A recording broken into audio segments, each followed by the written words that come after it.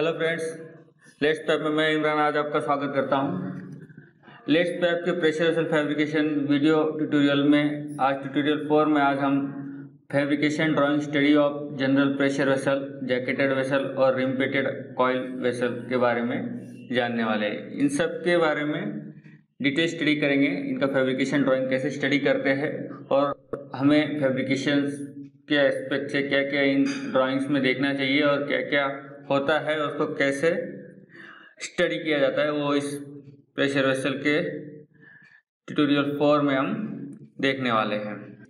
सबसे पहले मैं आपको बता दूँ लेट्स पे ने फैब्रिकेशंस में काम करने वालों के लिए बहुत ही अच्छे अच्छे टूल्स डेवलप किए हुए, जो कि हमारे वेबसाइट पे अवेलेबल है। और ये स्क्रीन पे जो आपको जितने नाम दिख रहे हैं, ये सब टूल्स एंड्रॉयड ऐप्स के फॉर्मेट में अवेलेबल है। आप गूगल प्ले स्टोर से डाउनलोड कर सकते हैं। या तो फिर हमारी वेबसाइट को विज़िट करके वहाँ से भी डाउनलोड कर सकते हैं। ये सब ऐप्स की वजह से आपका जो डेली फैब्रिकेशन एक्टिविटी है, उसमें काफ़ी टाइम सेविंग होगा, आपको एक्यूरेसी मिलेगी और आपकी वर्क की इफिशेंसी भी बढ़ेगी।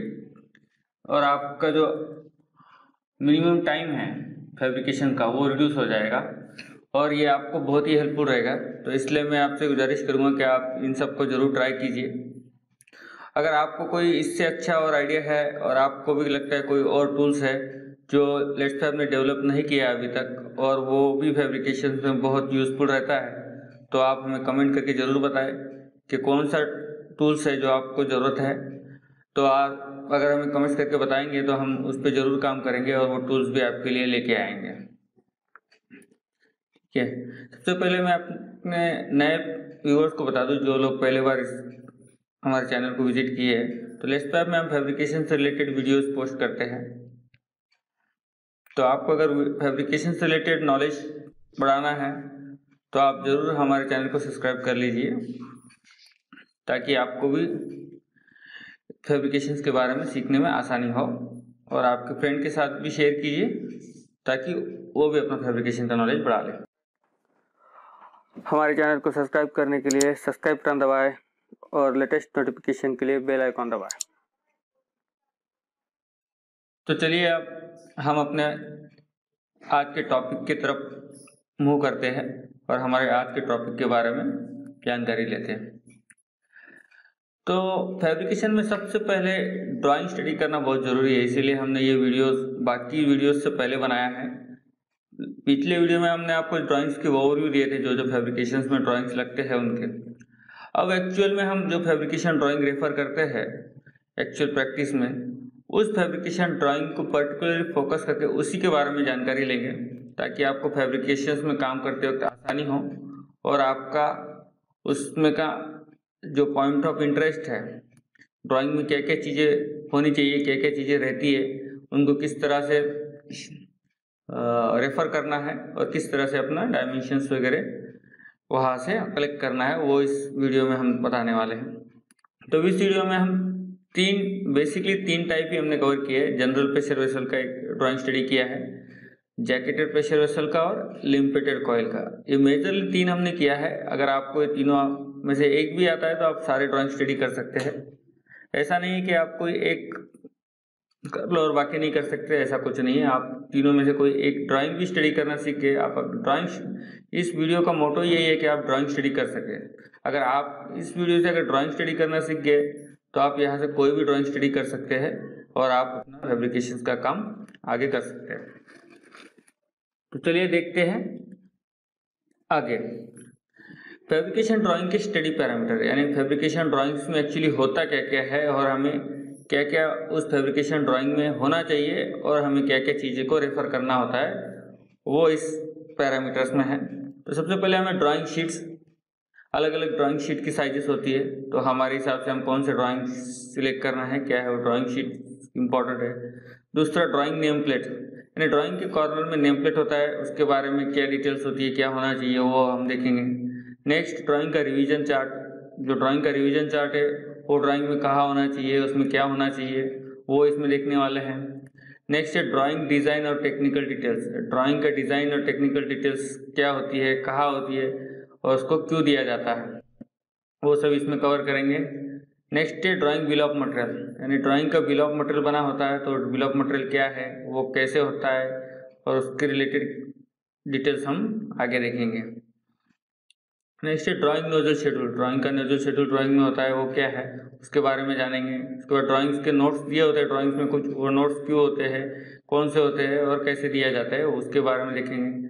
नेक्स्ट उसके ड्राइंग्स में कौन कौन से व्यूज़ होने चाहिए कौन कौन के ड्रीम्स होते हैं उन व्यूज़ को कैसे ढूंढे और उनके बारे में कैसे स्टडी करें, वो है। Next drawing dimensional reference and details यानी ड्राइंग्स के जो डायमेंशन का रेफरेंस कहाँ से लिया गया है और कहाँ से बाकी डायमेंशन देना ज़रूरी है वो इस पैरामीटर में कवर करेंगे। Then nozzle drawing part detailing यानी ड्राइंग की पार्ट डिटेलिंग कैसे की जाती है, वो बात देखेंगे। उसके बाद नोजल ओरिएंटेशन क्या होता है और वो कहाँ पे होता है, वो देखेंगे। ड्राइंग्स के वेल्डिंग डिटेल्स ड्राइंग में कहाँ दिए जाते हैं कौन कौन से वेल्डिंग डिटेल्स होना ज़रूरी है, वो देखेंगे।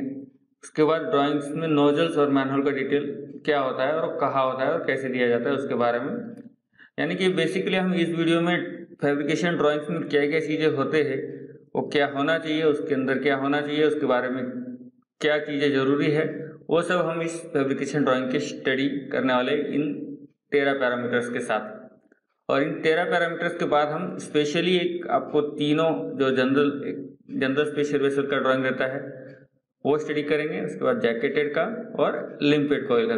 तीनों ड्राइंग स्टडी करने के बाद हमें पूरी फैब्रिकेशंस का ऑलमोस्ट मैक्सिमम स्टडी करना पता चल जाएगा एक्चुअली ड्राइंग होता क्या है, उसमें क्या क्या चीज़ें देखनी है।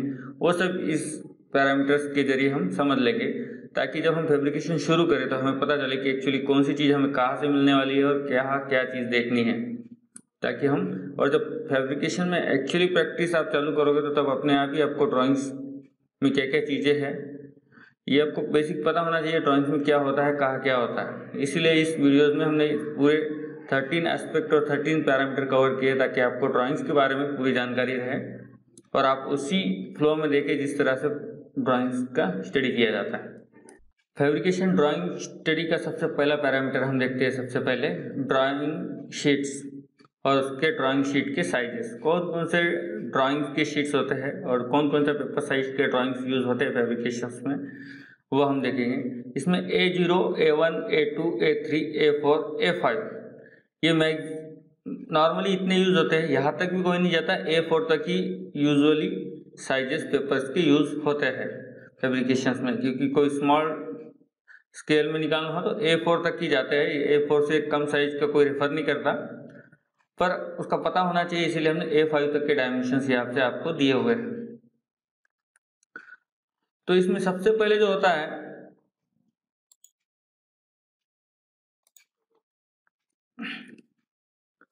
वो है ए ज़ीरो ए ज़ीरो का जो साइज़ होता है eight forty one by one one eight nine M M ये इसका साइज़ होगा, यानी इसका जो विड्थ है, ये वन वन एट नाइन रहेगा, और इसका ये हाइट है एट फोर्टी वन रहेगा। तो ये इस तरह से इसको क्लासिफाई किया जाता है और इसका साइज़ इस तरह से देखा जाता है। और सबसे बड़ी चीज़ को नाम देते हैं हम ए ज़ीरो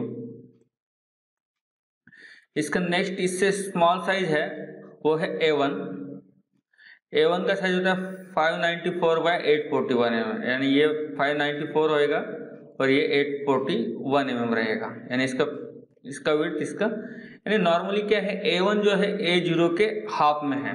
यानी अगर हम ए वन शीट को अगर दो पार्ट में किया जाए तो हमें ए ज़ीरो शीट अगर हम उसको दो पार्ट में किया जाए तो हमें ए वन के दो शीट्स मिल सकते हैं। यानी जो ए वन है वो ए ज़ीरो के डबल है। यानी ए ज़ीरो में से हम ए वन के दो शीट्स बना सकते हैं।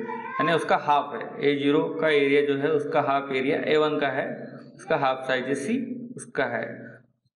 तो सबसे बड़ा साइज़ हो गया ए ज़ीरो उसके नेक्स्ट हो गया A one A one A zero के हाफ़ है यानी ए ज़ीरो में से हम ए वन के दो शीट्स बना सकते हैं, ये वाला और ये पूरा वाला, बाहर वाला जो दिख रहा है। नेक्स्ट शीट का साइज़ है ए टू ए टू है four twenty by five ninety four A two का जो साइज़ है, ये एक साइज़ दिखा है, देखो यहाँ पे A A two A two का साइज़ इतना होता है। Four twenty by five ninety four अब ये ए टू जो है, ये ए वन का आधा होता है। अगर हम ए वन को हाफ़ पार्ट में डिवाइड करें, दो पार्ट में डिवाइड करें तो हमें ए टू के दो शीट्स मिलेंगे। तो इस तरह से ये आगे चलता जाता है। तो यानी नेक्स्ट जो शीट आती है वो प्रीवियस वाले में से दो बनती है। उसी तरह ए थ्री का साइज़ होता है two ninety seven by four twenty यानी अगर हम ये हो गया ए थ्री वाला आपका, इसका size two ninety seven by four twenty है two two ninety seven by four twenty है।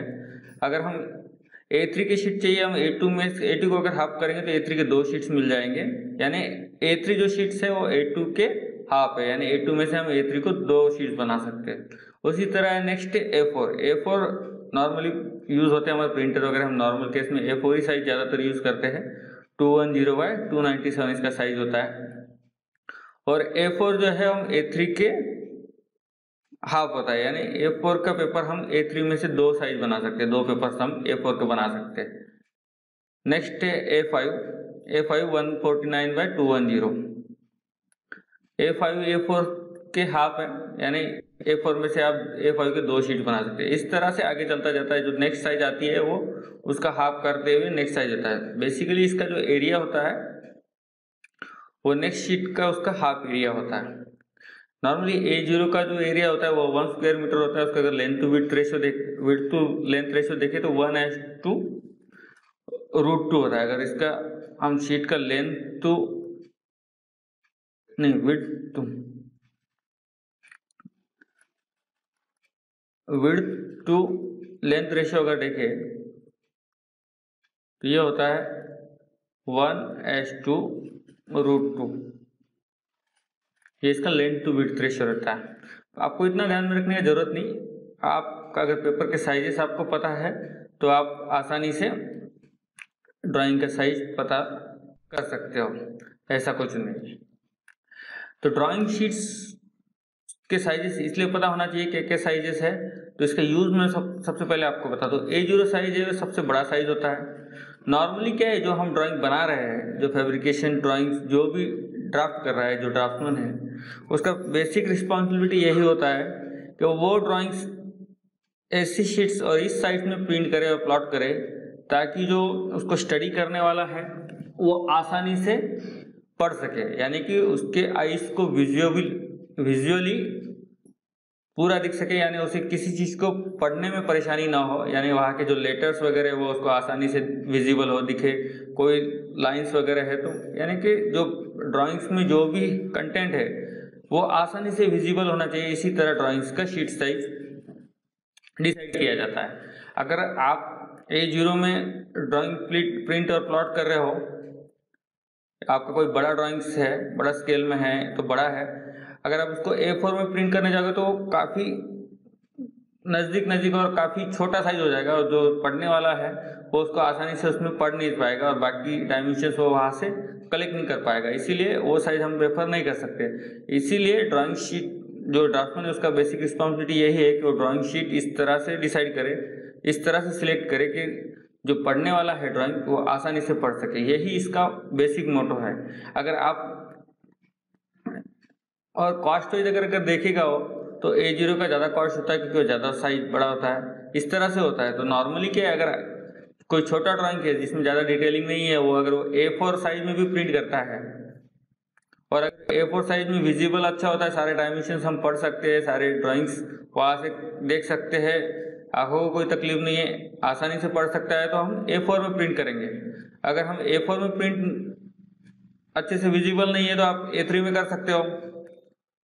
उसके नेक्स्ट ऊपर की साइड जा सकते हैं। इस तरह से हो, अगर ए थ्री में भी अच्छा विजिबल नहीं है तो आप ए टू में जा सकते हो और ए टू में भी अच्छा नहीं आ रहा है तो ए वन में जा सकते हो। और बिल्कुल ही मतलब लास्ट अगर आपको अच्छा ही पूरा क्लियर विजिबल ए वन में भी नहीं हो रहा है तो आप ए ज़ीरो का साइज़ ले सकते हो। उसमें आपको ड्राइंग्स का प्रॉपर स्केल सिलेक्ट करके आपको सारी चीज़ें आसानी से विजिबल हो जाएगी और आप आसानी से वहाँ से पढ़ सकते हैं ड्राइंग रीड कर सकते हैं। तो ड्राइंग शीट करने से पहले ड्राइंग रीडेबल होना ज़रूरी है और रीडेबल होने के लिए प्रॉपर ड्राइंग का शीट साइज़ होना ज़रूरी है।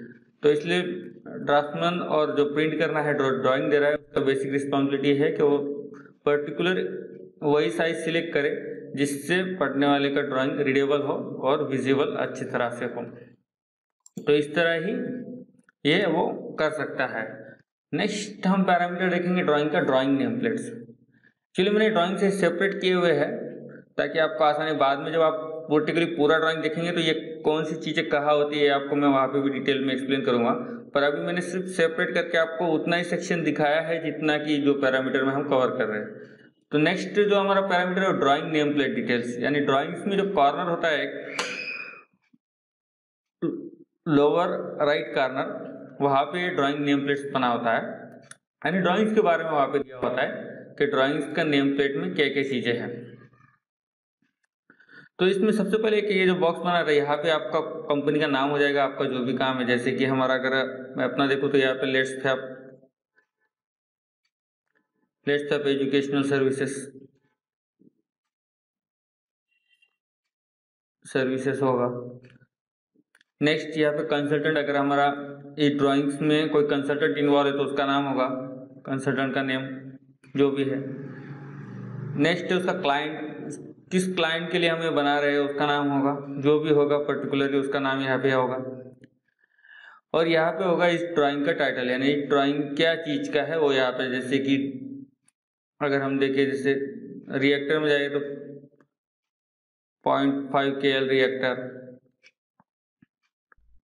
या तो जो भी प्रेशर वेसल जो साइज़ का है, वो यहाँ पे प्रेशर वेसल या तो जो इक्विपमेंट का नाम है, वो आप स्टोरेज टैंक जो भी है, वो दे सकते हैं। तो यहाँ पे जो इस ड्राइंग का टाइटल है, वो ड्राइंग का नाम यहाँ पे दिया जाता है टाइटल के सेक्शन में, और उसका कैपेसिटी अगर नीचे लिखा हो तो बहुत ही अच्छा रहता है, ताकि जैसे हो सकता है आप हो वन के एल टैंक जो नाम होता है टाइटल हो अलग अलग होता है। इक्विपमेंट के हिसाब से टाइटल आप कुछ भी दे सकते हो। तो कंपनी का नाम हो गया, आपका कंसल्टेंट हो गया क्लाइंट हो गया टाइटल हो गया। उसके बाद इस इक्विपमेंट का टैग यानी इस इक्विपमेंट को आइडेंटिफाई करने के लिए कुछ टैग नंबर दिया रहता है। जो नॉर्मली कंपनी डिसाइड करता है या तो ऑलरेडी परचेसर ने भी टैग दिया रहता है। तो उस हिसाब से इक्विपमेंट का जो भी टैग है, जो डिसाइड किया गया है पहले से तो वो टैग आप दे सकते हैं, जैसे कि अगर नहीं दिया तो आप भी दे सकते हैं। आपको आइडेंटिफिकेशन के लिए देना ज़रूरी है। जैसे आप अगर स्टोरेज ले रहे हो S T one zero one ऐसा कोई भी आप टैग दे सकते हो। ये tag already V N I वगैरह में दिया भी रहता है, आप वहाँ से भी देख सकते हो कौन से इक्विपमेंट का क्या टैग है और यहाँ से डाल सकते हो अगर प्रोजेक्ट वाइज है। अगर कहीं कुछ डिटेल नहीं तो आप अपनी मर्ज़ी से भी आपको आइडेंटिफाई इजीली इस तरह से आप टैग का दे सकते हैं ताकि आपको टैग से उस ड्राइंग का एक्चुअल पता चला सके। जैसे S T one zero one का है तो आपको, वो कहा भी हो तो उसके बारे में पता चल जाएगा। यानी कि शॉर्ट हो जाएगा, आपको पूरे डिटेल्स ध्यान में रखने की ज़रूरत नहीं, एक टैग नंबर से उसका इन्फॉर्मेशन स्टोर कर सकते हैं। उसके बाद इधर है प्रोजेक्ट यानी अगर इस प्रोजेक्ट को कोई नाम दिया हुआ है तो आप दे सकते हैं। जैसे कि फैब फैब वन ऐसे जो भी है प्रोजेक्ट का नाम डिफरेंट होता है, हर किसी का अलग अलग है। कोई भी, कुछ भी प्रोजेक्ट नेम जो भी प्रोजेक्ट नेम है आपका आपका प्रोजेक्ट नेम यहाँ पे आ जाएगा। नेक्स्ट इस ड्राइंग्स का नंबर यानी जो ड्राइंग हम बने उसको एक पर्टिकुलर नंबर दिया जाता है ताकि वो फ्यूचर्स में भी हम उस ड्राइंग को रेफर कर सके, सब लोग उस ड्राइंग के रेफरेंस से ही सारा कम्युनिकेशन रख सके, इसलिए हर ड्राइंग को एक ड्राइंग नंबर होना ज़रूरी है। तो ड्राइंग नंबर भी हर कोई अपने अपने हिसाब से देता है, जो डिजाइनर्स और जो ड्राफ्टमैन होते हैं, उन्हें पता रहता है ड्राइंग नंबर्स वो उनके हिसाब से देता है ताकि उनके रिकॉर्ड्स में रख सके और उन्हें पता चल सके कौन सा ड्राइंग किसके लिए बना है, ताकि फ्यूचर्स में भी अगर रेफरेंस हो, देखना हो ड्राइंग तो वह हमें ड्राइंग आसानी से मिल सके, इसलिए ड्राइंग नंबर देना ज़रूरी है, ताकि हमें ढूँढने में आसानी हो। तो ड्राइंग नंबर यूनिक दिया जाता है नॉर्मली हर एक को अलग अलग दो तो वो ज़्यादा बेटर रहता है ताकि आपको कभी भी उस ड्राइंग्स को रेफर करना हो, किसी क्लाइंट का कोई प्रॉब्लम हो, कुछ भी हो मेंटेनेंस वगैरह से रिलेटेड कोई इशू हुआ है बाद में, अगर वो ड्राइंग को वापिस से देखना है तो हमें उस ड्राइंग नंबर से हम उस ड्राइंग को ट्रैक कर सकते हैं और वो आप ढूंढ सकते हैं। इसलिए ड्राइंग नंबर ज़रूरी है। तो यहाँ पे ड्राइंग नंबर होता है। ड्राइंग नंबर यहाँ पे दिया होता है? Sheet sheet one of one का मतलब होता है इस ड्राइंग इस पर्टिकुलर इक्विपमेंट के लिए एक ही शीट में ड्राइंग बना हुआ है अगर ये वन ऑफ़ टेन होगा तो यानी इस ड्राइंग को दस शीट्स में बनाया। यानी दस पेजेस में ये ड्राइंग बना हुआ है और इसमें से ये फ़र्स्ट पेज है, इसलिए वन ऑफ़ टेन लिखा रहेगा। अगर one of ten one of two one of five इस तरह से ड्राइंग जितने ड्राइंग्स में बने हुए हैं, जितने पेजेस में बने हुए उस तरह से उतने शीट्स के हिसाब से यहाँ पे उसका शीट्स का मार्किंग होता है कि वन वन यानी शीट्स का कितना पेज है। यानी वन है, यानी एक ही शीट्स में पूरा ड्राइंग बना हुआ है और एक ही में इसका सारा डिटेलिंग दिया हुआ है। और इसलिए हमें इसके अदर शीट्स रेफर करने की ज़रूरत नहीं है। अगर यहाँ पे दूसरा है वन ऑफ़ टू है वन ऑफ़ फाइव है तो आपको उसके पाँच और शीट्स भी आपके पास होना ज़रूरी है। तो आप सबसे पहले ये रेफर रेफर करते हुए ध्यान में रखिए कि अगर आपके पास कोई ड्राइंग आया है तो ये शीट कितने ऑफ़ कितना है, यानी वन ऑफ़ टेन है वन ऑफ़ टू है वन ऑफ़ फाइव है, जो भी है वन ऑफ़ टू है तो आप अगर वन ऑफ़ टू है तो आप ये कंसिडर करिए कि पहले आप उन दोनों कॉपी आपके पास पास में हो, ताकि इसमें से कोई रेफरेंस हो तो नेक्स्ट ड्राइंग में भी होता है नेक्स्ट शीट में भी होता है तो आपको आसानी से को रिलेट आप कर सको इसलिए ये शीट का आपको देखना भी ज़रूरी है, इस पेपर वन ऑफ़ कितना है, ये देखना बहुत ज़रूरी है। नेक्स्ट इसका रिवीजन ये रिवीजन यहाँ पे ड्राइंग का रिवीजन होना ज़रूरी है। यानी ड्राइंग्स में सबसे पहला जो रिवीजन होता है वो ज़ीरो ही होता है। जब ड्राइंग सबसे पहले अप्रूव होता है तो सबसे पहले ज़ीरो रिवीजन का अप्रूव होता है। उसके बाद जो भी चेंजेस होते हैं, वो रिवीजन में ऐड करते रिवीजन चार्ट में ऐड करते हुए इसका रिवीजन नंबर बढ़ाया जाता है। ज़ीरो से नेक्स्ट रिवीजन होगा तो वन होगा नेक्स्ट होगा टू होगा। इसी तरह से इसके ड्राइंग्स के रिवीजन से यहाँ पे किए जाते हैं। तो ये ड्राइंग्स कितने रिविजन्स का है, वो यहाँ पे होना ज़रूरी है। और रिविजन्स भी हमें पता इसलिए होना चाहिए कि अगर हम पर्टिकुलरली कोई ड्राइंग रेफर कर रहे हैं तो हम उसका जब रेफरेंस देते हैं तो उसको ड्राइंग नंबर उसका रिवीजन नंबर देना बहुत ज़रूरी होता है ताकि जो ड्राइंग्स जिसने बनाया है, वो उस ड्राइंग को ट्रैक भी कर सके और आइडेंटिफाई कर सके। यानी कि कौन सा ड्राइंग आप पर्टिकुलर रेफर कर रहे हो, कौन सा रिवीजन का ड्राइंग एक्चुअली चल रहा है। तो जो लेटेस्ट रिवीजन होता है, वही फॉलो किया जाता है। बाकी रिविजन्स में जो चेंजेस होने के बाद होते तो उसको रेफर नहीं किए जाते। जो लेटेस्ट रिवीजन होता है, वही होता है। इसलिए रिवीजन नंबर भी आपको पता होना चाहिए रिवीजन नंबर क्या होता है और कहाँ होता है। नेक्स्ट ये जो सेक्शन है इधर का, ये ड्राइंग्स वाले के लिए है। यानी जिसने ड्राइंग बनाया है, वो अपना यहाँ पे नाम देगा। नाम देगा या तो जो भी उसका आइडेंटिफायर वो दे सकता है। अगर मैंने बनाया तो मैं अपना नाम लिख सकता हूँ, या इमरान, जो भी।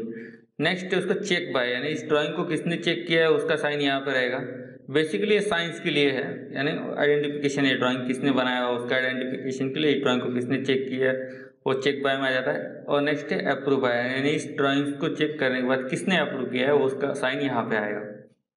नेक्स्ट है क्वांटिटी रिक्वायर्ड क्वांटिटी यानी इस पर्टिकुलर ड्राइंग्स को कितने क्वांटिटी यानी इस पर्टिकुलर इक्विपमेंट है, जो भी वन केल टैंक है, जो भी रिएक्टर है, जो भी आप बना रहे हैं, उसका क्वांटिटी कितना बनाना है, यानी एक ही पीस बनने वाला है, दो बनने वाले, चार बनने वाले, वो यहाँ पे हो गया, यानी क्वांटिटी होगा। वन नंबर्स टू नंबर्स ऐसे यहाँ पे होता है क्वांटिटी रिक्वायर कभी कभी क्वांटिटी रिक्वायर यहाँ नहीं भी दिया होता है तो डायरेक्टली यहाँ टाइटल के नीचे क्वांटिटी भी दिया रहता है क्वांटिटी करके, जैसे क्वांटिटी फाइव ऐसे ऐसे लिख के भी होता है। क्वांटिटी यहाँ भी देते हैं और कोई क्वांटिटी यहाँ भी देता है। यानी नॉर्मली क्या है ड्राइंग नेम प्लेट में जो चीज़ यहाँ दी ये होना ज़रूरी है। ऐसा ये ज़रूरी नहीं कि फॉर्मेट भी ऐसा ही हो। हर एक का फॉर्मेट अलग अलग होता है, पर ये जो बेसिक चीज़ें इसके अंदर की है, ये सब इसमें होना ज़रूरी है, वो इम्पोर्टेंट है। ऐसा नहीं कि मैंने ऐसा फॉर्मेट बनाया तो ऐसा ही फॉर्मेट ड्राइंग का होगा। ड्राइंग का फॉर्मेट हो सकता है अलग हो इस टेबल का, पर ये सब चीज़ें उसके अंदर होती है और ये होना भी चाहिए। नेक्स्ट है उसका स्केल इस ड्राइंग पर्टिकुलर किस स्केल में बनाया है? जैसे वन एस टू टू में बना है one is to hundred one is to thousand इस तरह जो भी स्केल है ड्राइंग्स का, वो यहाँ पे होना ज़रूरी है, ताकि यानी कि जो ड्राइंग्स बनता है, वो एक्चुअली अलग वन एस टू वन में बनता है। पर एक्चुअली जब हम उसको एक्चुअली प्रिंट करना चाहते हैं तो वो वन एस टू वन में अगर हम प्रिंट करेंगे तो हमें बहुत ही बड़ा शीट साइज़ लगेगा। तो इतना बड़ा शीट साइज़ पे तो हम प्रिंट कर भी नहीं सकते, ना तो हमारे पास उतना बड़ा प्लॉटर की फैसिलिटी होती है, ना तो इतना, वो इतना कॉस्टली भी हम नहीं जा सकते। ड्राइंग सिर्फ़ व्यूएबल रीडेबल होना चाहिए, वही शीट साइज़ में हम प्रिंट करते हैं। तो इसलिए स्केल इसलिए किया जाता है कि आपको बड़े साइज़ का ड्राइंग्स कम साइज़ में, यानी कि स्केल करके, छोटा करके आपको अधिक से, इसलिए ड्राइंग का किस स्केल में ड्राइंग्स किया हुआ है, वो भी यहाँ ज़रूरी है। वन एच टू वन में है वन एच टू थाउज़ेंड में one is to five hundred में, इस तरह से अलग अलग स्केल होते हैं। ये ड्राइंग्स वाले जो ड्राफ्टमैन होते हैं, वो जानते हैं। वो स्केल स्केल का आपको नॉर्मली यूज़ नहीं है, ये तो ड्राइंग्स वालों के लिए, पर स्केल भी यहाँ पे होता है। स्केल को भी आपको पता होना चाहिए स्केल एक्चुअली है क्या?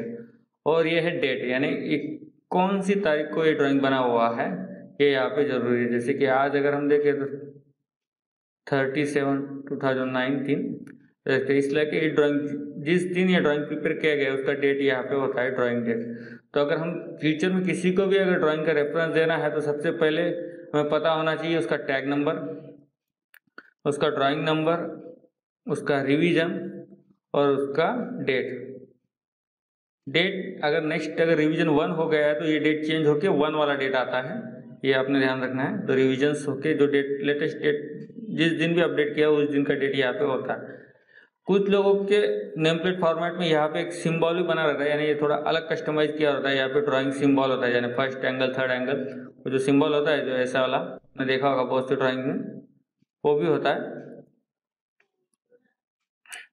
वो भी दिया रहता है। फ़र्स्ट एंगल यानी कि ड्राइंग कौन से एंगल में बनाई गई है वो यहाँ पे होता है।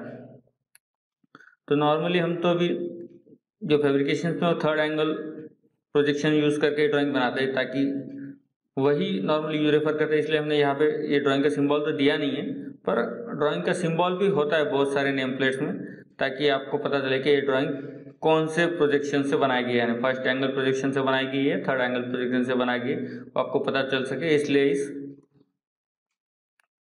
इस केस में ड्राइंग की नेम प्लेट में होता है। तो नेम प्लेट में ये जो चीज़ें थे, ये सबसे ज़रूरी थी, जो भी हमने अभी देखी।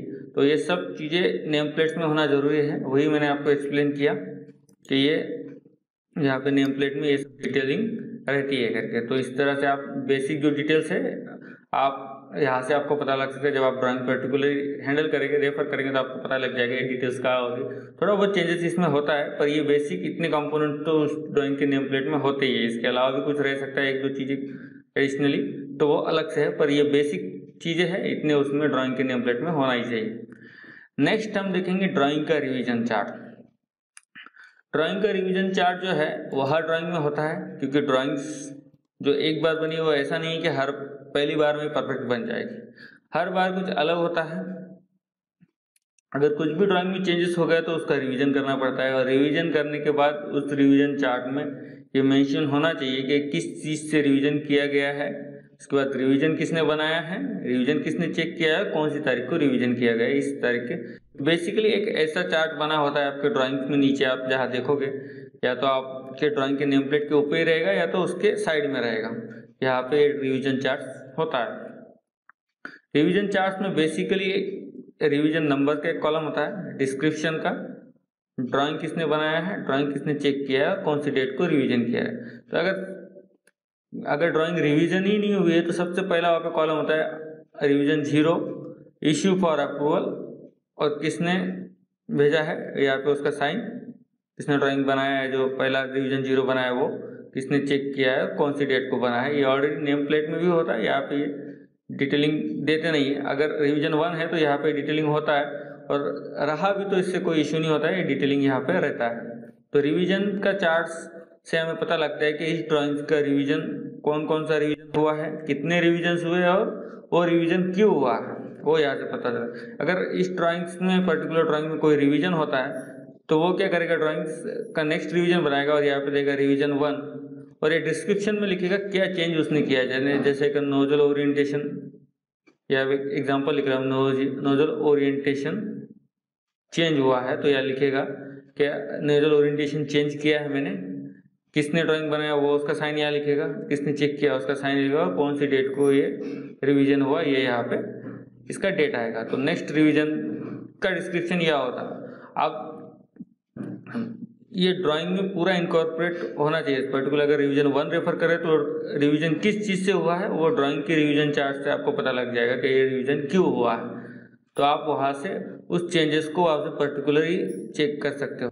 और एक बात इसमें ध्यान में रखने की बात यह है रिवीजन जब भी होता है तो उसको किसी तरह से हाईलाइट किया जाता है। अगर ड्राइंग में है, जैसे कोई ट्रायंगुलर सिंबल करके यूज़ किया जाता है ट्रायंगुलर में वन दिया रहता है। यानी जो चीज़ चेंज हुई है वो वहाँ पे एक ऐसा सिंबल बनाया रहता है ताकि आपको पता चले कि रिवीजन वन में ये चेंज हुआ है। जैसे ऐसा रहता है, कुछ लोग क्लाउड करके लिखते हैं रिवीजन वन तो नॉर्मली एक ट्रायंगल बन के उसके अंदर दिया रहता है, वही रिवीजन का सिंबल है।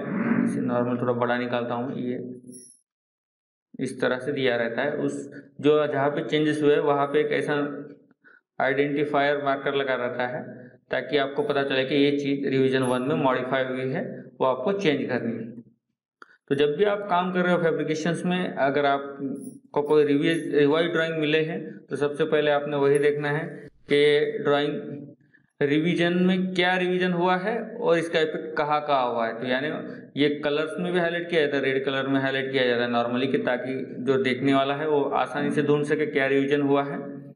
और क्या चेंज हुआ है? तो इसलिए ट्रैक करने के लिए ऐसे ट्रायंगुलर सिंबल और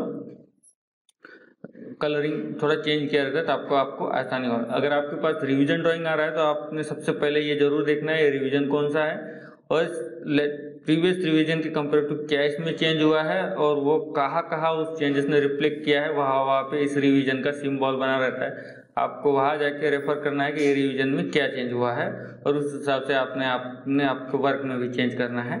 जो भी डायमेंशन वगैरह चेंज हुआ रहेगा ओरिएंटेशन वगैरह चेंज वगैरह, वो सब चेंजेस आपको वहाँ से करना है। तो बेसिकली रिवीजन चार्ट में यही दिया रहता है रिवीजन नंबर कौन सा रिवीजन लेटेस्ट चल रहा है और रिवीजन क्यों चेंज किया गया है, वो किसने बनाया है, किसने चेक किया है और कौन सी डेट को रिवीजन पर्टिकुलरली हुआ है, ये रिवीजन चार्ट में दिया रहता है। तो आपको रिवीजन चार्ट से यही पता लगेगा इसका रिवीजन कौन सा चल रहा है फ़िलहाल में।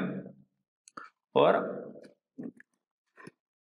आप कौन सा रिवीजन रेफर कर रहे हैं? नेक्स्ट इसका ड्राइंग का नेक्स्ट पैरामीटर है ड्राइंग डिज़ाइन डिटेल और टेक्निकल डिटेल यानी ड्राइंग का डिज़ाइन डाटा भी ड्राइंग्स में दिया रहता है। सब अगर ड्राइंग के आप टॉप में देखोगे राइट साइड के टॉप में तो वहाँ पे इसका डिज़ाइन डाटा और टेक्निकल डिटेल्स बना रहता है।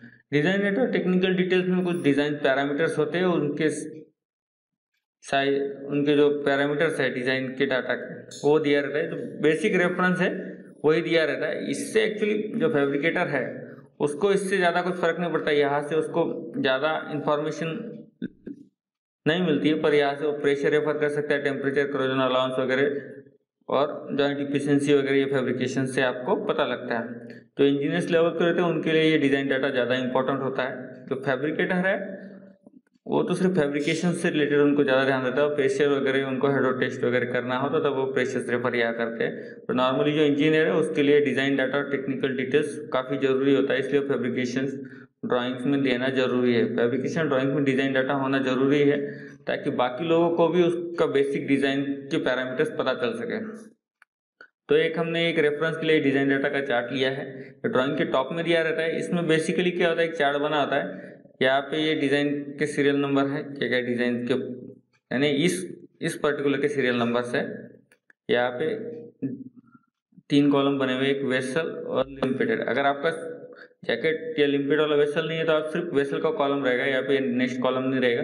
पर जनरलाइज फॉर्मेट है, इसलिए हमने दोनों इंक्लूड किया है, ताकि आपको पता रहे। और बहुत से लोग जनरलाइज यही फॉर्मेट रखते हैं। और अगर ये लिम्पेड और जैकेट नहीं रहे तो यहाँ पे कुछ डैश करके लिख देते हैं। और एक की वे डायमेंशन लिखते हैं ताकि पता चले कि ये इसमें इंक्लूड नहीं है। अगर है तो आप दोनों में डन इसमें सबसे पहले देखो ये वेस्टल के पैरामीटर से और ये जैकेट और जैसे। सबसे पहला पैरामीटर इसमें डिज़ाइन कोड यानी इस पर्टिकुलर ड्राइंग्स और इस पर्टिकुलर इक्विपमेंट किस डिज़ाइन कोड से बना गया वो यहाँ पे लिखा है। जैसे इसमें लिया है A section eight division one अगर आपका ड्राइंग्स इस कोड को फॉलो करके बनाया गया है तो आपका यहाँ पे डिज़ाइन डाटा में डिज़ाइन कोड देना हुआ ज़रूरी है, ताकि आप भी जब फैब्रिकेट करें तो उस कोड को ही रेफर करके, यानी जब भी आपको कोड रेफरेंस की ज़रूरत हो तो आप इसी कोर्स में रेफर करें। ऐसा नहीं हो डिवीज़न टू में ड्राइंग बना हुआ है, और आप डिवीज़न वन के क्लॉजेस यूज़ करें, और डिवीज़न वन के हिसाब से फैब्रिकेट करें। ऐसा पॉसिबल नहीं है, और ऐसा करना नहीं चाहिए, ये रॉन्ग प्रोसीजर तो सबसे पहले आपको पता होना चाहिए, ये डिज़ाइन कौन से कोड के रेफरेंस से बनाया? यानी अगर ये डिवीज़न वन से बनाया तो आपको फैब्रिकेट करते वक्त डिज़ाइन वन के ही रूल्स और जनरल रिक्वायरमेंट फुलफिल करनी होंगी। इसलिए आपको ये देखना ज़रूरी है। फैब्रिकेटर को भी ये देखना ज़रूरी है कि कौन से कोड से बना हुआ है। अगर एक्चुअली काम करता है, उसे पता ही होता है डिवीज़न वन के क्या क्या पैरामीटर क्या क्या रिक्वायरमेंट होती है। उसके साथ फैब्रिकेशन रिक्वायरमेंट वो उसने फुलफिल करना चाहिए। इसलिए यहाँ पे डिज़ाइन कोर्स दिया होता है। कौन सा डिज़ाइन कोर्स का ये एक्चुअली ये ड्राइंग बनी हुई है। नेक्स्ट है डिज़ाइन प्रेशर नेक्स्ट जो इसका पैरामीटर दिया था डिज़ाइन प्रेशर यानी कितने प्रेशर से डिज़ाइन किया गया हुआ है। जो भी इसका डिज़ाइन प्रेशर है, इस ड्राइंग्स का और एक पर्टिकुलर प्रेशर वेसल का और इक्विपमेंट का, वो यहाँ पे दिया हुआ है। कुछ भी हो सकता है हंड्रेड पी एस आई अगर पी एस आई में, यहाँ पे उसका यूनिट दिया रहता है के जी पर सेंटीमीटर का तो यहाँ पे दे सकते हैं। जो भी इसका के जी पर सेंटीमीटर स्क्वेयर में दे सकते गेज में सकते जो भी है, जो भी प्रेशर से यहाँ पे मैंने हंड्रेड पी एस आई में लिखा है तो ऐसा कुछ नहीं है। आप लोग टेन के जी पर सेंटीमीटर स्क्वायर ऐसा जो भी है, वो अलग ये यूनिट्स के हिसाब से लिख सकते हैं। आप कौन से यूनिट्स में आपने डिज़ाइन डाटा दिया है, उस हिसाब से आप एक ही यूनिट मेंटेन करें। एक ही, जैसे अगर आप ऐसे फॉर्मेट यूज़ कर रहे हो तो अगर एम एम यूज़ कर रहे हो तो एम एम के हिसाब से बेसिकली है, कुछ नहीं, ये कन्वर्जन कर सकते ऐसा नहीं है कि आप के जी पर सेंटीमीटर्स में दिया है, मुझे पी एस आई में समझता है तो पी एस आई में लिखना चाहिए, ऐसा कुछ नहीं। आप कन्वर्ट करके उसको भी कर सकते हैं, ऐसा कुछ नहीं। आप जो टाइम पर बेसिकली डिज़ाइन डाटा दिया हुआ रहता है, वहाँ पे उसका आपने यूनिट भी देखना है, कौन से यूनिट्स में दिया हुआ है। अगर यहाँ नहीं दिया है तो उसके आगे लिखा होता है कौन से यूनिट्स में वही पर्टिकुलरली क्वांटिटी वहाँ पे है। जैसे डिज़ाइन प्रेशर यहाँ पे होता है, ये वेसल साइड का, यानी वेसल का इनसाइड का प्रेशर यहाँ पे होता है। अगर जैकेट और लिम्पट है तो जैकेट और लिम्पेट का डिज़ाइन प्रेशर यहाँ होता है कि वो किस प्रेशर से बना हुआ है, जैसे टेन पी एस आई जो भी है एटमॉस्फेरिक वैक्यूम में जो भी है, वो यहाँ पे उसके जैकेट और लिम्पेट यानी वेसल का प्रेशर अलग है डिज़ाइन और लिम्पेट का डिज़ाइन प्रेशर अलग है। उसी वजह से अलग अलग थिकनेस कैलकुलेट होता है, इसलिए अलग अलग डिज़ाइन प्रेशर नेम नेक्स्ट इसका design temperature design temperature degree centigrade में कितना है, वो है, जैसे 300 डिग्री सेंटीग्रेड जो भी है डिज़ाइन का डाटा में डिज़ाइन टेम्परेचर यहाँ पे दिए होते हैं। इसका नेक्स्ट इसका वर्किंग प्रेशर एक्चुअली ये इक्विपमेंट कितने वर्किंग प्रेशर में वर्क करने वाला है वो यहाँ पे दिया। क्योंकि जो डिज़ाइन प्रेशर है वो हमारे वर्किंग प्रेशर से थोड़ा ज़्यादा लिया जाता है सेफ्टी पर्पज़ के लिए।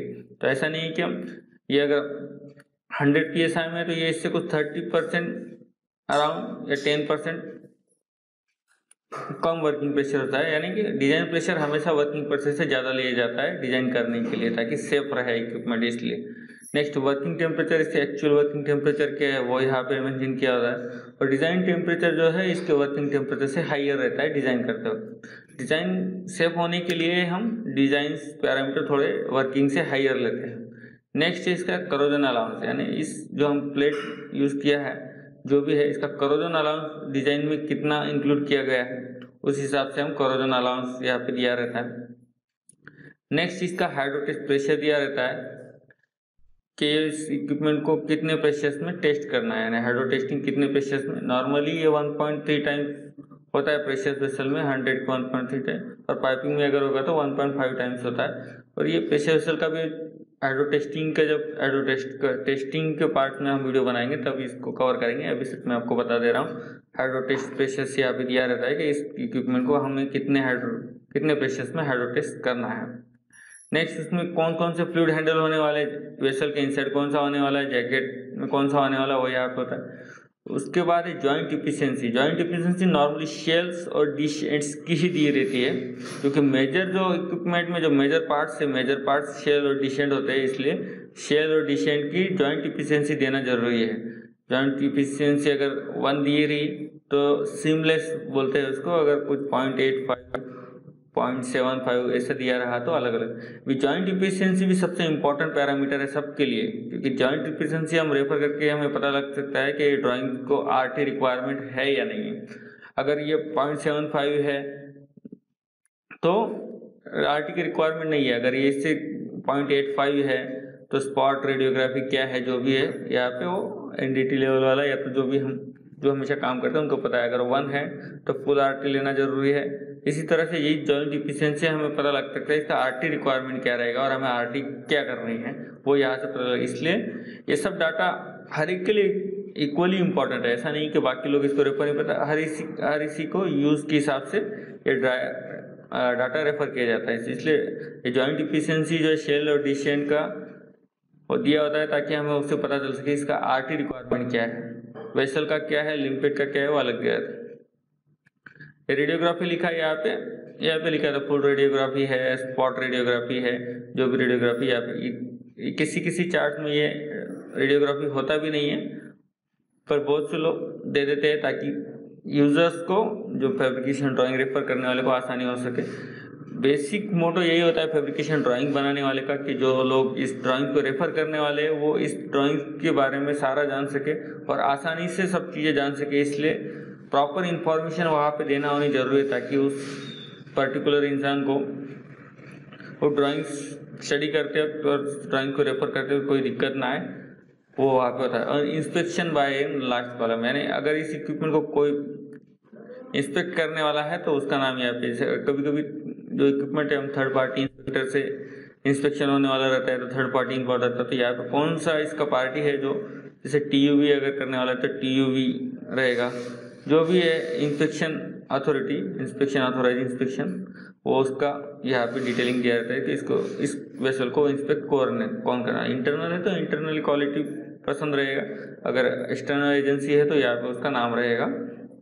और आपको वहाँ से पता लग जाएगा कि ये एक्चुअली इंस्पेक्ट वर्क करना है। तो बेसिक जो रिक्वायरमेंट है तो डिज़ाइन डाटा में इतने पैरामीटर्स होना बहुत ज़रूरी है और इतने रेफर्स नॉर्मली हर ड्राइंग्स में होते हैं और डिज़ाइन डाटा हर ड्राइंग्स में देना ज़रूरी है ताकि बाकी लोगों को भी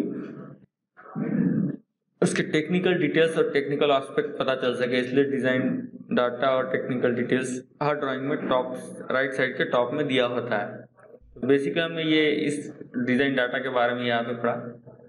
नेक्स्ट पैरामीटर देखते हैं हम ड्राइंग बिल ऑफ़ मटेरियल एक ड्राइंग बिल ऑफ़ मटेरियल का एक सैंपल मैंने यहाँ पे लिया हुआ है। एक्चुअली हम बिल ऑफ़ मटेरियल के लिए एक अलग से वीडियो बनाने वाले हैं बिल ऑफ़ मटेरियल कैसे बनाते हैं, पर इस सेक्शन में हम ड्राइंग के एस्पेक्ट्स बिल ऑफ़ मटेरियल क्या होता है, वही देखने वाले हैं ड्राइंग के हिसाब से। बाकी कैसे बनाते हैं, ये हम नहीं देख रहे। नॉर्मली ये मैंने एक रेफरेंस के लिए यहाँ पे कुछ डाल दिया है, ताकि आपको पता चले, ऐसा खाली रहेगा तो आपको पता नहीं लगेगा इसलिए। एक्चुअली इस ड्राइंग ये हर ड्राइंग के रेफरेंस के हिसाब से अलग अलग होता है। पर ये जो है, मैंने एक आपको रेफरेंस के लिए यहाँ पे कोई डाटा फिल किया हुआ है चार्ट लिया ताकि आपको पता लग सके एक्चुअली किस तरह से होता है, इसीलिए। ये जो बिल ऑफ़ मटेरियल है, नेम प्लेट के ऊपर इसका राइट साइड में ही ड्राइंग के राइट साइड में बिल ऑफ़ मटेरियल के ऊपर अगर रिविजन चार्ट है पहले तो रिविजन चार्ट के ऊपर ये दिया रहेगा। या तो अगर रिविजन चार्ट साइड में बना है तो ड्राइंग नेम प्लेट के ऊपर बिल ऑफ़ मटेरियल दिया हुआ रहता है। तो फेब्रिकेशन ड्राइंग्स में बिल ऑफ़ मटेरियल का मेजर पार्ट है, और सबसे इम्पोर्टेंट है, bill of material fabrication drawings में होना ज़रूरी ही है, ताकि जो फेब्रिकेशन में काम करने वाला उसको हर चीज़ के बारे में पता दे। ये इसका सीरियल नंबर और आइडेंटिफाई नंबर होता है, जो ड्राइंग्स में हर चीज़ को एक नंबर से आइडेंटिफाई किया होता है, वो नंबर का रिलेशन यहाँ दिया रहता है ताकि आप, यानी कि अगर वहाँ पे शेल्फ बना हुआ है ड्राइंग्स ऐसा है।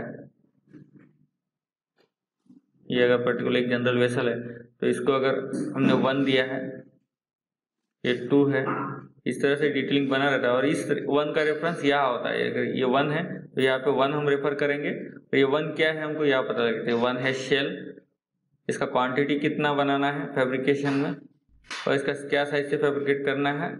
इसका एमओसी क्या है? और इसका कोई रिमार्क है क्या हो यानी बिल ऑफ़ मटेरियल में बेसिकली इसका सीरियल नंबर और टैग जो आइडेंटिफाई नंबर है वो, उसको इसका डिस्क्रिप्शन क्वांटिटी रॉ साइज़ इसका मटेरियल ऑफ़ कंस्ट्रक्शन एमओसी और रिमार्क ये इतने कॉलम्स बिल ऑफ़ मटेरियल में होना ज़रूरी है। सबसे पहले मैं एक्सप्लेन करके बता दूँ अगर जैसे ये एग्जांपल मैंने बताया, इसको वन नंबर दिया हुआ है तो वन आप रेफर करके बिल ऑफ़ मटेरियल में वन क्या है? तो वन आपको ऐसे पता लगेगा वन है शेल तो यानी कि ये शेल बनाने के हमें कितने पर्टिकुलर इस ड्राइंग में कितने क्वांटिटी में शेल्स बनाने हैं, वो यहाँ पे दिया रहेगा वन और इस शेल बनाने के लिए का प्लेट साइज़ यहाँ पे two five nine one two zero zero five thickness का। ये यहाँ से हमें इसका साइज़ मिलता है और इस साइज़ से हम इस शेल्स को फैब्रिकेट करते हैं। और नेक्स्ट इसका मटेरियल जो मटेरियल हम यूज़ करने वाले प्लेट का, उसका मटेरियल का ग्रेड ये होना चाहिए। जैसे two forty grade three one ये क्लासिफिकेशन सेक्शन टू के हिसाब से दिया है। आपको अगर इस मटेरियल के बारे में जानकारी जानना है तो आपको सेक्शन टू रेफर करना पड़ेगा। जो वहाँ, जो हमने पहला वीडियो है, आप वहाँ हमारा पहले वीडियो पे जा सकते हो। इस ट्यूटोरियल का, जहाँ पे हमने कोर्स और स्टैंडर्ड्स का ओवरव्यू दिया है। वहाँ पे सेक्शन टू में क्या डिटेलिंग होता है, वो आप वहाँ से जान सकते हो। तो सेक्शन टू के हिसाब से इस होटल को नाम दिया है। जैसे two forty grade three one six यानी थ्री वन सिक्स का मटेरियल है टू फोर्टी ग्रेड के टू फोर्टी ऐसे टू फोर्टी के हिसाब से। और रिमार्क अगर कुछ हो तो यहाँ पे दिया। एक्चुअली नॉर्मली क्या है, यहाँ पे क्वांटिटी इसलिए होता है कि कभी कभी अगर ये एक है तो ऐसा नहीं कि एक ही पीस में बनेगा। कभी कभी ये दो पीस में बनता है, इसलिए यहाँ पे यहाँ पे क्वांटिटी टू किया जाता है और यहाँ पे साइज़ अलग हो जाती है। तो आपको ये क्रॉस वेरीफाई करना होता है बिल ऑफ़ मटेरियल के ज़रिए कि ये वन क्या चीज़ है, वो आपको पता लग जाता है साइज़ पता लगता है सी पता लग जाता है वन यहाँ से आपको ड्राइंग एक एक पार्ट आप जब लेते जाओगे तो वन क्या है तो आपको इस तरह से आप ऑटोमेटिकली ड्राइंग स्टडी करते जाओगे। जब आप बिल ऑफ़ मटेरियल एक एक रेफर करके सारे कंपोनेंट बिल ऑफ़ मटेरियल के रेफर कर लोगे तो आपको ऑटोमेटिकली ये सारे चीज़ें पता लग जाएँगे क्या है कौन सी जगह कौन सी चीज़ कहाँ पे है, उसके डायमेंशन क्या क्या है, ये ऑटोमेटिकली अगर आप बिल ऑफ़ मटेरियल जनरेट करना सीख गए और बिल ऑफ़ मटेरियल रेफर करना सीख गए तो आप समझ लो कि नाइन्टी परसेंट आप ड्राइंग स्टडी करना सीख गए हो। अगर आपको बिल ऑफ़ मटेरियल समझता है, आप बिल ऑफ़ मटेरियल बना सकते हो और बिल ऑफ़ मटेरियल से आप डिटेलिंग अगर फैब्रिकेशन में ढूंढ सकते हो तो आप समझ लीजिए कि आपको 90 परसेंट ड्राइंग समझ में आता है और आप ड्राइंग 90 परसेंट ड्राइंग रेफर कर सकते हो। तो सबसे इम्पोर्टेंट मेजर पैरामीटर जो होता है बिल ऑफ़ मटेरियल ही होता है। इसी तरह नेक्स्ट इसी तरह नेक्स्ट कंपोनेंट रहता है। मैं ज़्यादा एक्सप्लेन नहीं करूँगा, पर कुछ चीज़ें आपको नेक्स्ट जैसे टू है, ये डिसेंट है। तो यहाँ पे दिया रहेगा डिसेंट डिसेंट ब्लैंक इसलिए दिया रहेगा क्योंकि ये डिसेंट हम सर्कल से बनाने वाले हैं, कुछ ब्लैंक से इसलिए डिसेंट का ब्लैंक यानी इस सर्कल का डायमीटर क्या है, अभी क्वांटिटी टू के लिए कि ये टॉप में लगने वाला है बॉटम में लगने वाला है। अगर शेल दो पार्ट में बना है तो दो क्वांटिटी रहेगा, और सिंगल पार्ट में तो वन तो डिसेंट का टू दिया है, ताकि एक टॉप के लिए हो, एक, अगर ये डिफरेंट साइज़ के रहेगा और डिफरेंट थिकनेस के रहेगा तो ये अलग मार्क से दिया रहेगा। जैसे इसको थ्री दिया रहेगा, अगर अलग थिकनेस से रहेगा तो। अगर सेम ही है तो एक ही आइडेंटिफाई मार्कर दिया रहता है, और उसी से इसका साइज़ जैसे क्वांटिटी टू इसका साइज़ नॉमिनल थिकनेस और एक्चुअली नॉमिनल थिकनेस और एक्चुअल थिकनेस यहाँ पे दिया रहता है। नॉमिनल थिकनेस और मिनिमम थिकनेस कितना है? मिनिमम थिकनेस से कम का हम प्लेट नहीं यूज़ कर सकते नॉमिनल थिकनेस का प्लेट हम यूज़ कर सकते हैं। उसी का एमओसी दिया रहता है। तो हर चीज़ की तीन चीज़ें होना ज़रूरी है, उसकी रॉ साइज़ उसका उसका आइडेंटिफिकेशन मार्क उसका नाम, उसका क्वांटिटी उसका साइज़ उसका एमओसी ये फाइव चीज़ें यहाँ पे बिल ऑफ़ मटेरियल में सबसे ज़रूरी होते हैं। और रिमार्क अगर कोई है तो रिमार्क भी यहाँ पे होता है। इस तरह देखो ये नेक्स्ट आप जब ड्राइंग रेफर करेंगे, जब हम बिल ऑफ़ मटेरियल बनाते जाएँगे तो ये सब चीज़ें आप ऑटोमेटिकली स्टडी करने लग जाओगे। और ये बिल ऑफ़ मटेरियल से हमें ड्राइंग्स के हर एक पार्ट्स का, हर एक चीज़ के बारे में पता लगता है। तो इसलिए बिल ऑफ़ मटेरियल आपको रेफर करना आना ही चाहिए, और बिल ऑफ़ मटेरियल से आप बिल ऑफ़ मटेरियल बनाते आना चाहिए आपको, और बिल ऑफ़ मटेरियल से आपको ड्राइंग रेफर करना आना चाहिए। इसलिए फैब्रिकेशन ड्राइंग स्टडी में बिल ऑफ़ मटेरियल सबसे इंपॉर्टेंट पार्ट है। इसके लिए हम स्पेशल वीडियो भी बनाएँगे बिल ऑफ़ मटेरियल कैसे बनाते हैं। वो उस वक्त बनाएँगे जब हम डिटेलिंग सीख के जब हम पर्टिकुलरली वेट वगैरह कैलकुलेट करने साइज़ वगैरह डिसाइड करने लग जाएँगे, तब हम यहाँ पे बिल ऑफ़ मटेरियल नॉर्मली कुछ बिल ऑफ़ मटेरियल में यहाँ पे एक वेट का सेक्शन भी ऐड किया रहता है वेट और यहाँ पे एक और कॉलम होता है वेट का। हर चीज़ का वेट भी आपको पता लग सके, इसलिए। और ड्राइंग नेम प्लेट में भी कभी कभी बॉटम में उस पर्टिकुलर इक्विपमेंट का वेट भी दिया रहता है, नीचे कॉलम करके। होता है, नहीं होता है, वो ज़रूरी नहीं, होना ही चाहिए, ऐसा कुछ नहीं होता है, कुछ ड्राइंग्स में, कुछ ड्राइंग्स में नहीं होता। है पर बिल ऑफ़ मटेरियल में भी एक कॉलम अगर वेट का भी हो तो वेट भी होता है। जब हम बिल ऑफ़ मटेरियल बनाएँगे तो हम वेट के साथ का चार्ट देखेंगे। एक नॉर्मली मैंने जस्ट ओवरव्यू आपको अंडरस्टैंडिंग के लिए ये लिया है, इसलिए इसमें ज़्यादा डिटेलिंग में नहीं जाता जस्ट आपको एक नोजल का एक्सप्लेन कर, जैसे एक नोजल है, यहाँ पे। इसका आइडेंटिफाई हम लेट ये है साइड ग्लास लाइट ग्लास इस, कोई एक नोजल है, पैड टाइप है, जो भी है, और यहाँ, ये दूसरा एक्चुअली नोजल है, और यहाँ पे वो दिया नहीं है, इसलिए जस्ट नोजलिंग की डिटेलिंग ऐसे रहेगा तो इसका साइज़ इसका और इसका आइडेंटिफाई एन एट इस नोजल का जो नंबर है, यहाँ पर रिमार्क में डाला है आपके, आपको आसानी से वो आपसे ढूंढ सको इसलिए। तो यानी बिल ऑफ़ मटेरियल से हम क्या करते हैं, हर पार्ट का जो रेफरेंस है, हम बिल ऑफ़ मटेरियल में मिलेगा। उसके बारे में जो डिटेलिंग है, हमें डायमेंशन हमें ड्राइंग से मिलेगी। और उससे रिलेटेड जो पैरामीटर्स है वो यहाँ से मिलेगा। उसका नाम, उसका रॉ साइज़ उसका एमओसी वगैरह बिल ऑफ़ मटेरियल में। इसलिए bill of material major important parts है।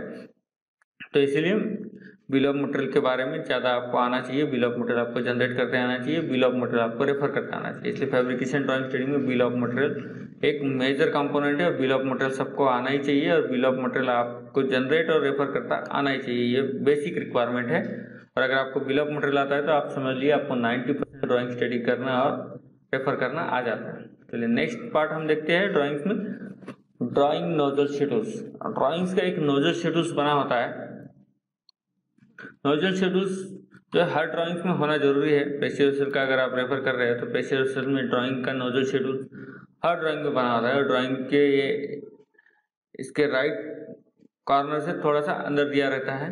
ताकि उस साइड में ऑलरेडी बिल ऑफ़ मटेरियल और ये सब बाद में ड्राइंग कवर कर लेता है डिज़ाइन डाटा अगर तो नोजल शेड्यूल अगर आपको वहाँ डिटेल जगह है, वहाँ रहता है तो उसके साइड में ड्राइंग का नोजल शेड्यूल्स बना रहता है। नोजल शेड्यूल्स में एक्चुअली क्या है नोजल का मार्किंग यानी उस नोजल को क्या मार्क दिया है वो, उसका सर्विस यानी उस नोजल किस चीज़ के लिए है उसका सर्विस उसके बाद उसका क्वांटिटी कितने नोजल्स है, उसके बाद नोजल का साइज़ उसके बाद नोजल जो है पर्टिकुलर एक पाइप होता है ऐसा, और उसको एक प्लान जोड़ के बनाते हैं। इस कंपोनेंट को बोलते हैं नोजल। एक्चुअली जब हम आगे डिटेलिंग देखेंगे नेक्स्ट वीडियोज़ वगैरह जब हम नोजल्स के बारे में डिटेलिंग पढ़ेंगे, तब हमें पता लगेगा ये क्या होता है। अभी जस्ट एक आप कंसिडर एक पाइप को एक प्लान जोड़ा होता है, इसको बोलते हैं नोजल तो अभी इस पाइप ये जो पाइप है, इस पाइप का जो साइज़ यहाँ से और शेड्यूल यहाँ से मिल जाता है आपको नोजल का साइज़ और इसका टाइप यानी इस प्लान जो लगी इसको, इसका टाइप क्या है? तो ये है, यानी प्लान को इसलिए प्लान का साइज़ भी 150 होता है, सिर्फ़ ये शेड्यूल है पाइप के लिए होता है, ये टाइप प्लान के लिए होता है, यानी प्लान 150 फिफ्टी एन बी यहाँ पे दिया रहता है एन बी में है एम एम में है, यहाँ पे दिया रहता है साइज़ किसमें एन बी है या कुछ और है तो यहाँ पे दिया ये वन फिफ्टी एन बी है फिफ्टी टेन एस इसका शेड्यूल है, इसका टाइप का है प्लान प्लान का टाइप एस आर इसका रेटिंग यानी ये इसका क्लास वन फिफ्टी क्लास का है। तो से अलग अलग क्लास की आती हैं। प्रोजेक्शन इस नोजल का प्रोजेक्शन यानी इस वेसल से ये कितना बाहर है इसका प्रोजेक्शन यहाँ पर या नॉर्मली वन फिफ्टी एक स्टैंडर्ड है, पर इससे ज़्यादा भी रहता है, पर मिनिमम 150 लोग रखते हैं। एक ईजी एसेसिबल के लिए। और रिमार्क यानी कोई रिमार्क अगर कुछ है होल्ड वगैरह जो भी है, और रिमार्क में। एक रिमार्क का कॉलम भी इसलिए होता है ताकि आपको कुछ कुछ भी कमेंट हो तो यहाँ पे रिमार्क में डाल सके इसलिए। तो इसलिए ऐसे नोजल जितने भी नोजल्स होते हैं, उनका हर एक को अलग अलग आइडेंटिफायर मार्क होता है। Nozzle mark N one N two N three N four इस तरह से मार्किंग दिए जाते हैं, ताकि आपको पता लग सके। उसका क्वांटिटी यहाँ पे दिया रहता है क्वांटिटी के चार्ट में। उसका साइजेस अगर हम एक पर्टिकुलर में नोजल आपको बता दो, जैसे कि अगर हम ये हैंड का नोजल एनुअल लेते हैं तो एनुअल का अगर हम पाइप को पता चलेगा तो हमें पता चलेगा कि इसका 40 एन का पाइप है। अब ये डीप पाइप दिया है तो इसमें 40 स्लैश ट्वेंटी फाइव दिया है फोर्टी पाइप के अंदर एक और 25 फाइव का पाइप है, इसलिए ऐसे दो साइज़ दिए तो आप यहाँ पे कंफ्यूजन मत कीजिए कि ऐसा स्लैश क्यों दिया हुआ। तो इसका मतलब एक 40 एन के पाइप के अंदर और एक पाइप गया गया है 25 जब आप इसका डिटेलिंग देखोगे, उस पर्टिकुलर नोजल का तो आपको वहाँ से इजिली पता लग जाएगा एक्चुअली है क्या।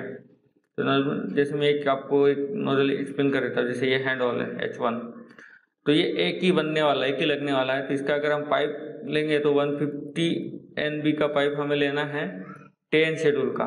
ये हो गया तुम्हारे पाइप के लिए डिटेलिंग। और प्लान के लिए डिटेलिंग हो जाएगा 150 फिफ्टी की plan. S R F type 150 class ये होगा प्लान गट स्पेसिफिकेशन आप इस स्पेसिफिकेशन से ये फ्लैंज और पाइप आता है, इसलिए उसका स्पेसिफिकेशन यहाँ से मिल सकता और इसका प्रोजेक्शन है वन फिफ्टी एम यानी इस बेसल से ये वन फिफ्टी एम बाहर है प्रोजेक्शन हमें ड्राइंग से पता लग जाता है ये ड्राइंग का तो नोजल शेड्यूल्स में बेसिकली ये इतने चीज़ें होने ज़रूरी है। इसके अलावा भी कुछ और है तो और भी डिटेलिंग आप इससे ज़्यादा कर सकते हो तो रहता है पर ये बेसिक इतनी चीज़ें नोजल शेड्यूल्स में होते हैं। ये कभी कभी ये पैड टाइप इसलिए लिखा है कि ये पैड टाइप है, यानी यानी कि ये पाइप और नोजल्स फ्लैंज से नहीं बना हुआ है डायरेक्टली फ्लैंज उधर वेल्ड किए गए वेसल के साथ। इसलिए पैड टाइप दिया हुआ है। तो ये, या पे इसका रिमार्क में भी देते हैं, या तो यहाँ पे भी दे सकते हैं। तो ये अलग अलग है, जो भी है। हर ड्राफ्टमैन अलग अलग टाइप के नोजल शेड्यूल्स बनाते हैं, पर नोजल शेड्यूल्स में ये, इसका टेबल अलग तरह से बना सकते हैं, पर ये रिक्वायरमेंट जो है बेसिक है। इतने रिक्वायरमेंट इस नोजल शेड्यूल्स में होना चाहिए। तो जब भी आप ड्राइंग रेफर करें तो नोजल शेड्यूल्स में देखिए कि इतनी चीज़ें मिनिमम होना चाहिए। इतना से ही नोजल्स का एक्चुअल डाटा हमें पता चल सकता है इसलिए ये नोजल शेड्यूल्स बना रहा है। तो, तो नोजल का सारे डिटेलिंग हमें इस नोजल शेड्यूल से पता लग जाता है। तो यहाँ से हम नोजल्स के बारे में जान सकते हैं। तो ये सब तो था नोजल शेड्यूल्स के बारे में। तो इसी तरह आप नोजल शेड्यूल्स रेफर करके आपको नोजल्स के बारे में देते हैं। बिल ऑफ़ मटेरियल से आपको ड्राइंग्स पूरे ड्राइंग्स का पता लग जाता है। वहाँ से बिल ऑफ़ मटेरियल में भी ये दिया रहता है पर उसका स्पेसिफिकेशन वहाँ नहीं होता इसलिए नोजल शेड्यूल्स एक अलग से बनाया होता है। वहाँ पे सिर्फ़ उसका साइज़ दिया होता है लेंथ वगैरह जो भी है, वहाँ पे भी बिल मटेरियल में दिया रहता है, पर डिटेलिंग के लिए उसका स्पेसिफिकेशन के लिए नोजल शेड्यूल्स रेफर करना ज़रूरी होता है। नोजल शेड्यूल्स हर ड्राइंग में होना ज़रूरी है और ये ड्राइंग्स में राइट साइड में होता है। नेक्स्ट है ड्राइंग नोट्स ड्राइंग नोट्स भी हर जगह पे बने होते हैं। ड्राइंग नोट्स इसलिए ज़रूरी होते हैं कि जो भी कुछ ऐसा इंफॉर्मेशन है, जो हम एक्चुअली ड्राइंग्स में दे नहीं सकते यानी ड्राइंग में इनकॉर्पोरेट नहीं कर सकते। जैसे नोट्स जैसे भी जैसे all external dimension are in M M unless otherwise state यानी ये नोट्स इसलिए देना चाहते हैं कि जब हम ड्राइंग्स हर जगह पे एम तो लिखेंगे नहीं। ऐसा ही जब हम ड्राइंग बना रहे हैं तो ऐसा तो नहीं हर डायमेंशन से हर एम एम लिखता जाए तो वो काफ़ी टीडियस और ड्राइंग का भी कंफ्यूजन होगी। तो इसलिए कुछ ऐसे नोट्स होते हैं जो हम नोट्स में रेफर कर देते हैं और वो पर्टिकुलर पूरी ड्राइंग्स को उसको रिलेटेड होते हैं। जैसे अगर आप नोट्स में देखें तो नोट्स करके लिखा होता है, उसके नीचे कुछ नोट्स लिखे होते हैं क्या क्या नोट्स ये ड्राइंग को अप्लीकेबल है। तो अगर जैसे मैं एक एग्जांपल उनको पहले, सबसे पहले बोल दूँ तो ये इस तरह का चार्ट्स बना होता है ड्राइंग्स में। हर ड्राइंग्स में ये नोट्स का चार्ट होता है, और ये आपको रेफर करना ज़रूरी है। हर फेब्रिकेटर्स ने इसको रेफर करना चाहिए। हर नोट्स को एक बार रीडेबल कर लेना चाहिए, ताकि आपको ड्राइंग फेब्रिकेशन करते वक्त कोई दिक्कत ना आए, और आपको सारी बातें पता है। सबसे पहला है ये all external all external dimensions are in mm unless otherwise specified. यानी क्या है? जो ड्राइंग में सारे डायमेंशन है, वो एम mm में है। अगर एम mm के अगर अलावा कोई डायमेंशन स्टैंडर्ड यूज़ किया गया, जैसे एम mm के अगर इंचेस में अगर कोई साइज़ लिया गया तो वहाँ पे पर्टिकुलरली मेंशन रहेगा कि ये इंच का साइज़ है। अगर वहाँ पे मेंशन नहीं किया गया है तो आप ये रेफर कर सकते हो, वो साइज़ एम mm में है। यानी पर्टिकुलर अगर जैसे मैं एक शेल्स ले लिया और यहाँ पे इसका आईडी दिया रहेगा। Directly one one zero zero लिखा है तो इसका मतलब ये एम एम में है। अगर ये एम एम के अलावा कोई रहेगा तो यहाँ पे दिया रहेगा फीट इंचेस जो भी है। अगर एम एम के अलावा कोई अगर डायमेंशन यूज़ किया गया तो उसका वापस स्टेट किया रहेगा कि वो कौन सी यूनिट्स में है। अगर नहीं दिया तो आप डायरेक्टली रेफर सकते हो, वो डायमेंशन एम एम में नेक्स्ट नोट से ऑल नोट तो मैं कुछ नोट्स का आपको पढ़ के बता दे रहा हूँ, इस तरह के नोट्स होते हैं। इसके अलावा बहुत सारे नोट्स बने होते हैं, वो नोट्स आपने हर एक नोट्स को पढ़ना ज़रूरी है। तो उसी से आपको पता लगते रहते उसकी कुछ कुछ पार्ट्स कुछ इंपॉर्टेंट चीज़ें नोट्स में रेफर किए रहते वहाँ से हम all board hold to be straddle the principal centre line of the vessel यानी जो बोर्ड के होल है, जब भी आप फ्लैंज लगा रहे हो किसी नोजल को तो वो प्रिंसिपल सेंटर लाइन से स्ट्रेडल होना चाहिए। जैसे मैं एक एग्ज़ाम्पल के लिए बता दूँ आपको। जैसे आप कहिए वेसल है। तो इसका प्रिंसिपल सेंटर लाइन ये हो गया। अगर टॉप व्यू में देखें तो ये, इसका टॉप व्यू में एक मिनट ये आप लेता हूँ, ये बनाता हूँ मैं एक सिंपल आपको रेफरेंस के लिए, ताकि आपको थोड़ा ये प्रिंसिपल सेंटर लाइन क्या है। ये जो इसका वर्टिकल लाइन हो गया, ये सेंटर लाइन हो गया, इसका टॉप व्यू यहाँ बना रहेगा। तो ये इसका और एक सेंटर लाइन तो आपको जो भी प्लान जो है तो उसके होल्स जो है, इससे मैच नहीं होना चाहिए। अगर हम लोग कोई किसी नोजल का, इस नोजल की ये जो फ्लैंज है, इसका अगर टॉपियो ऐसा है तो इसके जो होल्स है, इस चारों में नहीं आना चाहिए। ये होल्स इस चारों सेंटर लाइंस को ऑफसेट रहना चाहिए। ये बेसिकली इसका स्ट्राडल का मतलब है। यानी कि जो प्रिंसिपल सेंटर लाइन है, ये फोर इस डायमेंशन में आपको कोई भी होल इस लाइन पे नहीं आना चाहिए, इसको कट नहीं करना चाहिए, इसको ऑफसेट ही सारे होल्स आने चाहिए। इस तरह से एक नोट से। All note below 50 N B to be provided with two number stiffness 90 degree apart यानी अगर 50 एन से कोई नोजल छोटा है तो आप उसको दो स्टिफनेस प्रोवाइड करना है 90 डिग्री अपार्ट पे। वो नोट यहाँ पे दिए। उसके नोजल अब 50 एन वो को आर पैड होना चाहिए और उसको 1.5 के जी पर सेंटीमीटर पर टेस्ट करना चाहिए एक नोट से।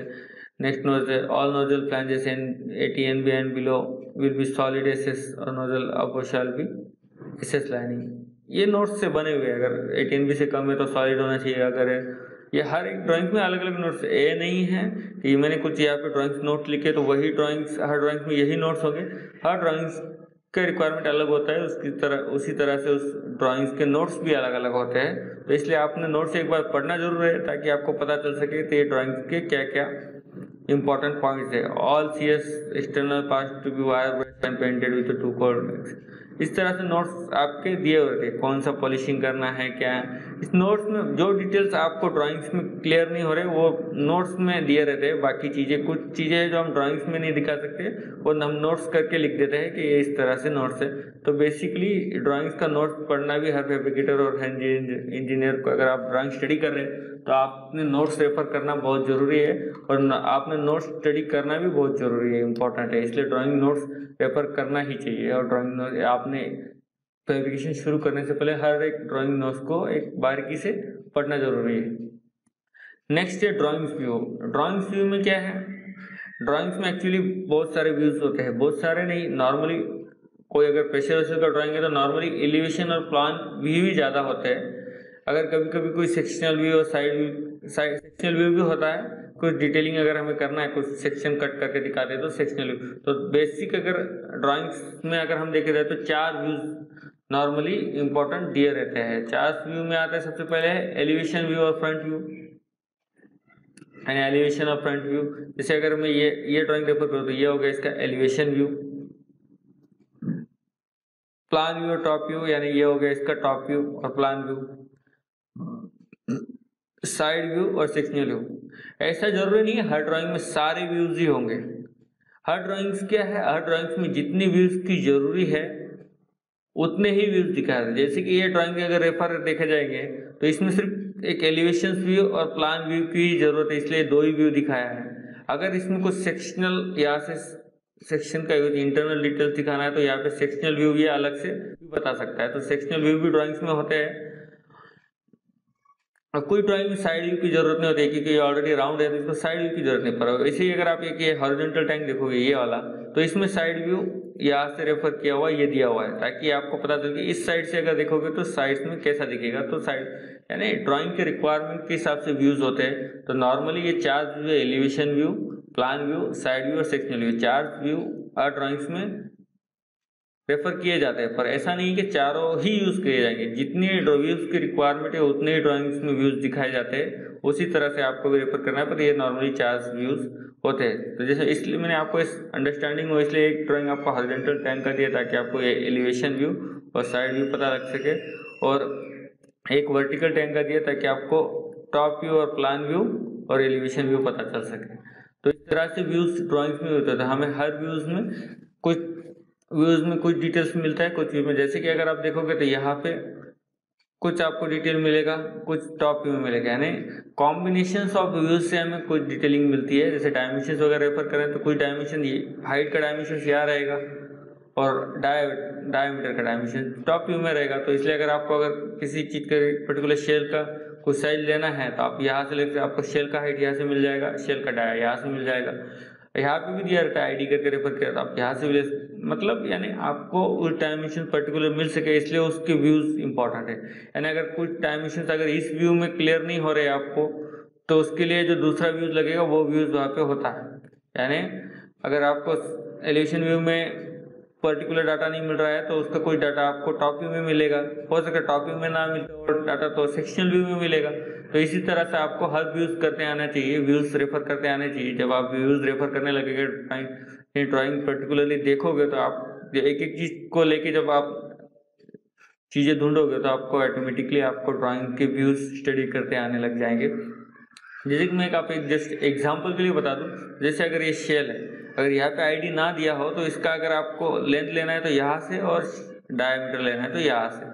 टॉप व्यू से, यानी टॉप व्यू और एलिवेशन व्यू का यूज़ करके आपको इसका शेल्स का पूरा डिटेल मिलेगा dimensional dimensional details view drawing views में तो ड्राइंग में व्यूज़ जो होते हैं, वो हमें डायमेंशंस लेने के लिए ज़्यादा इंपॉर्टेंट होता है। अगर हमें किसी चीज़ के डायमेंशंस के बारे में पता करना है तो उस डायमेंशन व्यूज़ के लिए हमें अलग अलग व्यूज़ रेफर करने रहते हैं। कभी कोई डायमेंशन एलिवेशन में व्यू में दिया रहता है, कुछ प्लान व्यू में दिया रहता है, कुछ साइड में रहता है, कुछ सेक्शनल व्यू में इस तरह से हर व्यूज़ के तीन, सभी व्यूज़ का कॉम्बिनेशन करके हमें एक पर्टिकुलर डायमेंशन वहाँ से मिल जाती है।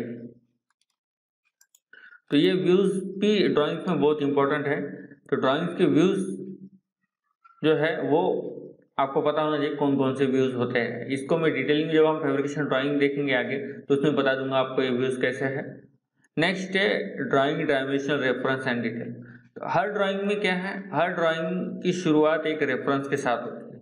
यानी कोई भी ड्राइंग अगर आप देखो तो उसमें एक रेफरेंस लाइन होना ज़रूरी है। अगर नहीं है तो आपको खुद को मान के चलना पड़ेगा कि एक कोई रेफरेंस डिसाइड करना पड़ेगा और वही से रेफरेंस जा सकते हैं। ताकि आपका जो इक्विपमेंट है परफेक्ट बने, इसलिए ड्राइंग में डायमेंशनल रेफरेंस ज़रूरी होता है। बहुत सारे लोग हैं जो इस बारे में पता नहीं, उनको पता नहीं है कि ड्राइंग डायमेंशनल रेफरेंस होता क्या है, पर डायमेंशन रेफरेंस और डायमेंशन डिटेल्स एक अलग चीज़ है और ये होना चाहिए। जैसे मैं आपको समझा देता हूँ डायमेंशनल रेफरेंस एक्चुअली होता क्या है? डायमेंशनल रेफरेंस यानी एक, कोई एक फिक्स पॉइंट पर्टिकुलर किया रहता है, वही से सारे डायमेंशन दिया रहता है। यानी उस पॉइंट जैसे अब ये एक अगर एग्ज़ाम्पल देखो तो ये जो टॉप सेक्शन है इसका ये तो यहाँ पे लिखा लिखा रहेगा रेफरेंस लाइन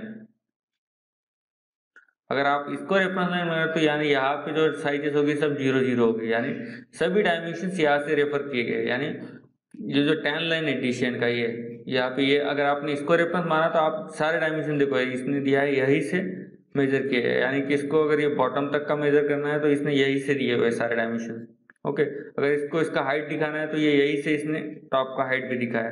यानी हर डायमेंशंस फिर इसी रेफरेंस लाइन से मेजर किए जाएँगे मेजर वाले। देखिए, ये नेक्स्ट डायमेंशन भी इसने यही से शो किया है। इस तरह से होता है रेफरेंस बहुत सारे लोग के डायमेंशंस जो है प्रेशर वेसल में टेन लाइन जो डिशन का टेन लाइन है, उधर ही लिया रहता है रेफरेंस या तो कुछ लोग है, या तो आप यहाँ से ले सकते हो, या तो यानी किसी एक पॉइंट को फिक्स किया रहता है वेसल में। आप या तो यहाँ पे रेफरेंस लाइन लेके यहाँ से ज़ीरो शुरू कर सकते हैं। पर मेजर ज़रूरी ये है कि रेफरेंस लाइन आप इक्विपमेंट पे ही लें ताकि आपका इक्विपमेंट परफेक्ट बन सके। ताकि जो आपके चेंजेस है, सारे इसी डायमेंशन से कैलकुलेट किए जाए। बाकी सारी डायमेंशन जो डायमेंशनल देने वाले वो इसी लाइन के रेफरेंस अकॉर्डिंग टू ही मेट के है अगर इसका साइज़ देना है तो उसको स्टार्टिंग यही से करनी है और यही देनी है। नेक्स्ट हो सकता है यहाँ से दे, पर उसकी शुरुआत यहाँ से होना ज़रूरी है। रेफरेंस लाइन्स भी बहुत इंपॉर्टेंट है। तो आपको जब भी आप फैब्रिकेशन ड्राइंग स्टडी कर फैब्रिकेशन ड्राइंग को रेफर करें तो सबसे पहले आपने ड्राइंग्स में अगर डायमेंशंस के बारे में आपको ढूंढना है तो सबसे पहले आपको रेफरेंस लाइन जानना ज़रूरी है। तो इसका रेफरेंस है का? यानी रेफरेंस लाइन जो तो जो ज़ीरो ज़ीरो लाइन यानी उस लाइन पे सारे डायमेंशन ज़ीरो है और वही से सारे डायमेंशन रेफर किए गए। तो जो भी डायमेंशन हमको हाईलाइट करने तो रेफरेंस लाइन से ही देना है और वही से रेफर करना है। जब हम फेब्रिकेशन में कोई लेंथ वगैरह मेंटेन करते हैं तो हम रेफरेंस लाइन से ही मेंटेन करते हैं। जैसे अगर कभी कभी ऐसा केस होता है, जैसे यहाँ से इतना टोटल रिक्वायरमेंट अगर एक मीटर की रिक्वायरमेंट है। जब आप फेब्रिकेट कर रहे हो तो आप क्या करोगे? समझ लो आपने इस शेल को दो पार्ट में बनाया है। एक एक और एक इस तरह से एक पार्ट हो गया। तीन पार्ट में अगर तो आपका मोटो यही रहना चाहिए कि आपका जो टोटल डायमेंशन इसने रेफरेंस यहाँ से टोटल डायमेंशन दिया है तो टोटल इतना वन मीटर आना चाहिए। यानी कि इस रेफरेंस से इसका लास्ट पॉइंट एक मीटर आना चाहिए। तो आप यहाँ से थोड़े बहुत डायमेंशन वेरी हो तो चलेगा, पर ये आपका डायमेंशन वन मीटर इस रेफरेंस लाइन से ही आना चाहिए। और आप जब पर्टिकुलर पूरा ये तीनों को जोड़ दोगे तो आपको इस रेफरेंस लाइन से ही, यानी इस डिश एंड को और ये फ्लैट बॉटम को और शेल को जोड़ दोगे तो आपका टाइम इसका बॉटम इस रेफरेंस लाइन से वन मीटर ही आना चाहिए। इसी से एडजस्टमेंट करना चाहिए इसीलिए डायमेंशनल में ड्राइंग्स में रेफरेंस लाइन सबसे पहले इंपॉर्टेंट है और आपको रेफरेंस लाइन ढूंढना है और उस रेफरेंस लाइन से ही सभी डायमेंशन लेने हैं। वही से रेफर करने हैं। वही से ऐसा नहीं है, ये पर्टिकुलर एक वेसल का बताया हमने। इसी तरह से हर डिटेलिंग का अलग अलग होता है। रेफरेंस लाइन एक पर्टिकुलर एक ड्राइंग में रेफरेंस लाइन एक ही हो रही है। आप तो आप बॉटम से मेजर करें, या तो आप टेन लाइन से करें। बेसिकली बहुत सारे लोग डिशेंट के टेन लाइन को ही रेफरेंस लाइन रेफर करते हैं। रेफरेंस लाइन वही से देते मेजरली आप ये कंसीडर कीजिए कि जब भी रेफरेंस लाइन आप डिसाइड करो तो रेफरेंस लाइन मेजर इक्विपमेंट पे डिसाइड करते हैं। ऐसा नहीं, आप यहाँ बॉटम पे इसलिए नहीं दिया, ये जो लेंथ वाइज है, ये हाइट कम ज़्यादा होती रहती है तो हाइट इतनी इंपॉर्टेंट नहीं इसलिए यहाँ पे रेफरेंस लेना सही नहीं तो इक्विपमेंट में डिस्टेंस ये मेजर पार्ट है। आप यहाँ से रेफरेंस लोगे तो ज़्यादा बेटर रहेगा। ऐसा नहीं रेफरेंस कहीं से भी ले सकते हैं आप, ऐसा कुछ नहीं, यही से लेना चाहिए। पर एक मेजर पार्ट से आप रेफरेंस ले, ताकि आपको, आपका इक्विपमेंट भी परफेक्ट साइज़ में मिले और आपको वही से आप सारे डायमेंशन रेफर कर सकें और जो ड्राफ्टमैन है, उसका भी बेसिक मोटो यही रहता है कि वो सारे डायमेंशन रेफरेंस लाइन के अकॉर्डिंग ही दे, ताकि रीडिंग जो ड्राइंग रीड कर रहा है, जो ड्राइंग समझ रहा है, उसको भी आसानी हो पढ़ने में और ग्लोबलाइजेशन होता है यानी कि। ऐसा नहीं, एक ड्राइंग एक ही आदमी नहीं पढ़ता है, पूरा बंदा कोई भी पढ़े तो उसको ड्राइंग आसानी समझ में आए। इसीलिए रेफरेंस लाइन और इसी रेफरेंस लाइन से बाकी डायमेंशन आपको मिलेंगे। तो आपको डायमेंशन डिटेल ढूँढने है तो रेफरेंस लाइन से अकॉर्डिंग आपने हर एक डायमेंशन को ढूंढना है। डिस्टेंस का है तो डिस्टेंस के डायमेंशन बाद इस तरह से आपको डायमेंशन दिया रहते हैं। जैसे देखो, इस रेफरेंस लाइन ये होगी यहाँ से एक डायमेंशन से एक डायमेंशन से, या टॉप का डायमेंशन दिया हुआ है, ये यहाँ से इसका ये वाला डायमेंशन दिया हुआ है। इस इस तरह से ये डायमेंशनिंग किया जाता है। यहाँ से ये आईडी का डायमेंशन दिया रहेगा। इसी तरह से हर एक का अलग अलग डायमेंशन दिया रहता है। तो ये आपको ये ध्यान रखना है कि डायमेंशनल रेफरेंस और डायमेंशनल डिटेल कैसे दिया जाता है, वो इस बारे में आपको पता लगता है। तो डायमेंशनल ही भी बहुत इंपॉर्टेंट है। नेक्स्ट हम पार्ट देखेंगे ड्राइंग पार्ट डिटेलिंग यानी जब आपको पता चल गया आपने रेफरेंस पता चल गया, आपको ड्राइंग एक ड्राइंग पार्ट डिटेलिंग क्या होती है, वो जस्ट मैंने एक ड्राइंग से यहाँ पे लिया है। बेसिकली ये ड्राइंग आगे भी लिया है, बहुत जगह पे ये ड्राइंग मैंने यूज़ किया हुआ है, पर आप वहाँ से मैं जस्ट आपको पार्ट डिटेलिंग होता क्या है? एक्चुअली क्या है? ये जो हमने देखा जस्ट आपको एक ओवरव्यू दे देता हूँ। और आगे भी देने वाला, ये एक ड्राइंग्स है हमारी, एक पर्टिकुलर शीट में बनी हुई। है तो पार्ट डिटेलिंग यानी क्या है? जैसे ये व्यूज़ है, इसके मेजर पार्ट्स ये दो है। अब इस पार्ट में लगने वाले हर एक पार्ट का डिटेलिंग एक अलग बनाया जैसे ये देखो, ये ये जॉइंट इसका डिटेलिंग यहाँ दिया हुआ है। इस मैन होल का डिटेलिंग यहाँ दिया हुआ है। इसका वेल्डिंग डिटेल्स इधर दिया हुआ है। इसके नोजल्स का डिटेलिंग यहाँ दिया हुआ है। तो इस तरह के हर एक कंपोनेंट जो मेजर पार्ट्स में लगने वाले पार्ट्स है, उसका हर एक डिटेलिंग एक अलग अलग जगह पर है। क्योंकि इस पार्ट पर्टिकुलर पार्ट्स अगर आप यहाँ देखिए अगर यहीं पे इसका सारे डिटेलिंग बनाने लगे तो ये ड्राइंग काफ़ी कॉम्प्लिकेटेड हो जाएगी। इसलिए इस कॉम्प्लिकेशन को अवॉइड करने के लिए जो मेजर पार्ट्स है, वहाँ पे हाईलाइट किया रहता है कि इस इस डिटेलिंग को नंबर दिया रहता है। जैसे अगर ये डिटेलिंग को एक्स डिटेल दिया रहा है तो आपको इस चीज़ को एक्स डिटेल जहाँ पर भी है, वहाँ पर दिया रहेगा। आपने पढ़ना है यहाँ पे एक्स डिटेल तो आपने इस चीज़ की डिटेलिंग के डायमेंशन यानी इसको फैब्रिकेट करते तो अपने इस सेक्शन को रेफर करना है और यही से इसके डायमेंशन लेने इस तरह से आपका ड्राइंग कॉम्प्लिकेटेड ना बने सिंपल बने, इसलिए पार्ट डिटेलिंग किया जाता है। और ड्राइंग्स में पार्ट डिटेलिंग की जाती है। जैसे मैंने आपको बताया लेग्स के लिए यहाँ पे, मैनहोल के लिए यहाँ पे, नोजल्स के लिए यहाँ इसलिए जितने भी इक्विपमेंट लगे लिफ्टिंग हुक के लिए यहाँ पे। इसलिए हर पार्ट्स की डिटेलिंग अलग अलग की जाती है, ताकि आपको ड्राइंग रीडिंग करने में आसानी हो, आपको डायमेंशंस फाइंड आउट करने में आसानी हो। इसलिए इसका डिटेलिंग किया जाता है। कभी कभी ऐसा भी सिचुएशन आता है, ये एक ही शीट में ड्राइंग पूरा बनाया है और रीडेबल रहेगा तो इसीलिए इसने एक ही में इसका डिटेलिंग भी कर दिया। कभी कभी क्या होता है पार्ट डिटेलिंग एक सेपरेट शीट्स में भी बनाए होते हैं। तो कभी कभी क्या होता है मेन मेजर ड्राइंग इस बेसिक शीट में वन ऑफ़ वन में होता है। अगर दस सीट का ड्राइंग है तो टू ऑफ़ टेन में तो एक पार्ट का डिटेलिंग बना रहेगा। थ्री में थ्री ऑफ़ टेन में एक करेगा इसी रहता है अगर बड़ा ड्राइंग है अगर ये इसमें भी कॉम्प्लिकेशन समझने में दिक्कत होती है तो आप एक सेपरेट शीट में डिटेलिंग कर सकते हो और उसका रेफर यानी डिटेलिंग में बता सकते हो। तो इसी तरह से डिटेलिंग आपको देनी है। आपको हर पार्ट का डिटेलिंग करना ताकि ड्राइंग अंडरस्टैंड आपको इजी हो कॉम्प्लिकेटेड ड्राइंग ना हो, समझने वाले को रीडेबल हो और आसानी से समझे, इसलिए ड्राइंग पार्ट डिटेलिंग में होता है। तो ये सब तो था पार्ट डिटेलिंग के बारे में। तो पार्ट डिटेलिंग इस तरह की जाता है। हर पार्ट को एक अलग तरीके से अलग दिखाना और इस तरह से इसको बोलते हैं पार्ट डिटेलिंग नेक्स्ट है नोजल ओरिएंटेशन नोजल ओरिएंटेशन में एक्चुअली क्या है? नोजल ओरिएंटेशन एक अलग पार्ट है, पर ये आपको नोजल ओरिएंटेशन हर ड्राइंग में रहता है। अगर आप प्रेशर वेसल वेसल फैब्रिकेट कर रहे हो तो नोजल ओरिएंटेशन होता है। अभी अगर दूसरे आप अगर आप इक्विपमेंट फैब्रिकेट करें तो उसमें ड्राइंग का नोजल ओरिएंटेशन नहीं होता है। कोई ड्राइंग में, पर अगर प्रेशर वेसल स्टोरेज टैंक वगैरह इस तरह से फैब्रिकेट करें तो उसमें नोजल ओरिएंटेशन एक मेजर पार्ट हो जाता है। नोजल ओरिएंटेशन आपको समझना ज़रूरी नोजल ओरिएंटेशन बेसिकली एक प्लान व्यू होता है, यानी कि टॉप व्यू उस वेसल का टॉप व्यू में नोजल ओरिएंटेशन दिखाते हैं। और इसमें बेसिकली चार डिग्री फिक्स किया जाते हैं ज़ीरो नाइन्टी वन एटी और टू सेवेंटी ये चार डायमेंशन यहाँ पे फिक्स होते हैं।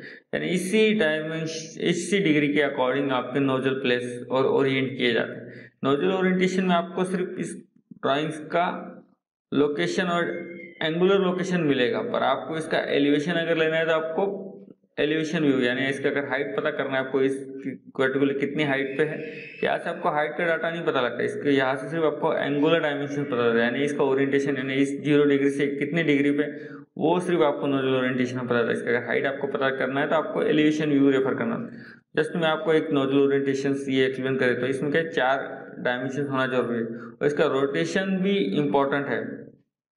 ये क्लॉकवाइज रोटेशन है और एंटी क्लॉकवाइज ताकि ये प्लांट के हिसाब से डिसाइड होता है। जो प्लांट में हम, अगर आपका ये ओरिएंटेशन गलत, अगर आपने ओरिएंटेशन ही गलत है, आपके प्लांट के अकॉर्डिंग टू तो आपके जो नोजल्स है, वो दूसरी साइड चले जाएँगे। इसलिए प्लांट व्यू जो हमने देखा था लास्ट लेक्चर में जो हमने देखा था plot plan equipment layout equipment layout में नोजल का नॉट ड्राइंग का नॉट डिसाइड किया था नॉट के अकॉर्डिंग हर एक इक्विपमेंट अलग अलग जगह प्लेस किया है। जैसे हमने इस तरह से देखा था, एक इक्विपमेंट यहाँ, एक इक्विपमेंट यहाँ, एक इक्विपमेंट इसी तरह से इसके पर्टिकुलर इसी के बेसिस पे इसका ओरिएंटेशन सिलेक्ट किया होता है डिग्री ताकि जो ये नोजल से उसी डायरेक्शन में आए। ऐसा नहीं हो कि ये ये यहाँ का नोजल यहाँ जाने वाला हो और आप बनाते वक्त इस नोजल को इस साइड में बना दें। तो इसलिए ऐसा मिसमैच नहीं होना चाहिए। इसलिए प्लांट का ओरिएंटेशन के हिसाब से नोजल का ओरिएंटेशन होता है, ताकि हर नोजल उसी डायरेक्शन में आए, जिस डायरेक्शन में उसकी ज़रूरी है। ऐसा नहीं है, इस नोजल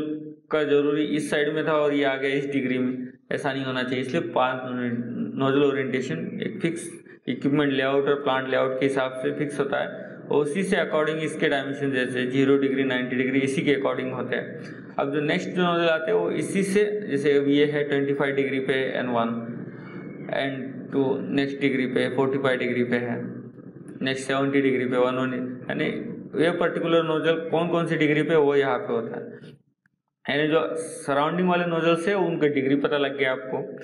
अब इसमें इसका मार्किंग दिया थे एन वन एन टू जो नोजल शेड्यूल्स में जो मार्किंग थे, वो यहाँ पर ही है। यहाँ से साइज़ उसका नोजल शेड्यूल्स में मिल जाते हैं।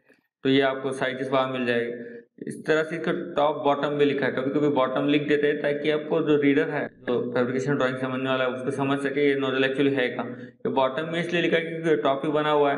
कभी कभी यहाँ पे क्या आता है, या तो डॉटेड लाइन से दिया रहता है, या तो यहाँ पे लिखा होता है पर्टिकुलरली बॉटम यानी ये जो एन टू नोजल है, ये बॉटम साइड में ऐसा नहीं आप क्या समझो, यहाँ टॉप में देख रहे हो तो टॉप में अगर यहाँ पे लिखा है बॉटम तो ये बॉटम साइज़ है, क्योंकि ये हाईलाइट किया हुआ यानी कि ये डॉटेड लाइन में नहीं दिया करिए डॉटेड लाइन में तो आप बेसिकली ड्राइंग के हिसाब से समझ जाओगे कि आप बॉटम में तो अगर वैसा डॉटेड लाइन में शो नहीं किया हुआ तो आप यहाँ पे बॉटम लिखना ज़रूरी है कि ये नोजल बॉटम तो इस तरह से हर एक चीज़ का, हर एक इक्विपमेंट का जो ओरिएंटेशन है, यानी जो एंगुलर डायमेंशन हमें नोजल ओरिएंटेशन से मिलता है। तो मेजर इसमें ओरिएंटेशन में आपका ये चार ज़ीरो डिग्री से लेके ये ओरिएंट और इसका लोकेशन और डायरेक्शंस इंपॉर्टेंट है। उसके बाद ये ज़ीरो, नाइन्टी, वन एटी की डायरेक्शन में वो इम्पोर्टेंट है। उसके बाद नोजल का मार्किंग्स और जो टॉप के होते हैं, उनके लिए इसका पीसीडी है, जो आर हंड्रेड है। इसका ये लोकेशंस यानी एंगुलर जो लोकेशन आपको एलिवेशन तो जो साइड वाले नोजल से उसका एलिवेशन व्यू से तो आपको उसका हाइट मिल जाएगा। पर जो टॉप डिश के ऊपर टॉप है बॉटम में लगे, उसके लिए आपको डायमेंशन में ये पीसीडी जो आर दिया हुआ है, ये ज़रूरी होता है, यानी ये उस पर्टिकुलर सर्कुलर साइड में किस आर पे नोजल है? यानी इसका पीसीडी जो सेंटर लाइन है तो ये आर आठ सौ पंद्रह है। इस तरह से हर एक नोजल का अलग अलग आर हो सकता है, या तो एक ही आर पे बहुत सारे नोजल भी प्लेस होते हैं। जैसे कि ये ये जो आर है छः सौ वाला इस पर ये नोजल भी है, ये नोजल भी है, ये नोजल भी है, ये है, ऐसे बहुत सारे नोजल है। अगर आप डिफरेंट अभी ये भी इसी आर पे है ये नोजल एक अलग आर पे है तो इसका अलग आर है, यानी जितने नोजल जितने अलग अलग आर पे हर एक का आर, यानी इसका पीसी और इसका सेंटर लाइन देना ज़रूरी है। तो ये इस तरह से नोजल ओरिएंटेशन में इसका पीसी डायमेंशन यानी आर डायमेंशन इसके एंगुलर डिग्रीज इसके मार्किंग्स और इसका ओरिएंटेशन का रोटेशन ये सब इसमें इंपॉर्टेंट है और ये सब आपको स्टडी करके आना चाहिए और ये आपको समझ में आना चाहिए। तो ये नोजल ओरिएंटेशन के बारे में हमने यहाँ पे ओवरव्यू दिया। आप जब पर्टिकुलर ड्राइंग खुद से स्टडी करना चालू करो तो अपने आप ही आपको पता लग जाएगा ये चीज़ है कि इसमें जो आपको मैंने एक आइडिया दे दिया कि ड्राइंग में क्या देखना चाहिए और क्या चीज़ें होती है। तो इस तरह से ये नोजल ओरिएंटेशन था और ये भी काफ़ी फेब्रिकेशन में काफ़ी इंपॉर्टेंट पार्ट है, नोजल ओरिएंटेशन आपको सबसे इम्पोर्टेंट में अगर कोई फैब्रिकेटर इंजीनियर को अगर नोजल ओरिएंटेशन समझ में आ गया तो ये कंसिडर किया तो 50 परसेंट उसको ड्राइंग से 90 परसेंट ड्राइंग का नॉलेज है अगर आपको नोजल ओरिएंटेशन रीड करना आ गया तो, तो नोजल ओरिएंटेशन बहुत ही इंपॉर्टेंट सेक्शन है ड्राइंग के हिसाब से और स्टडी के हिसाब से। तो इसमें कभी कभी ऐसा भी होता है अगर आप ये टॉप व्यू के पर्टिकुलर अगर दिया नहीं है तो आप कंसिडर करेंगे कि टॉप व्यू ही होता है।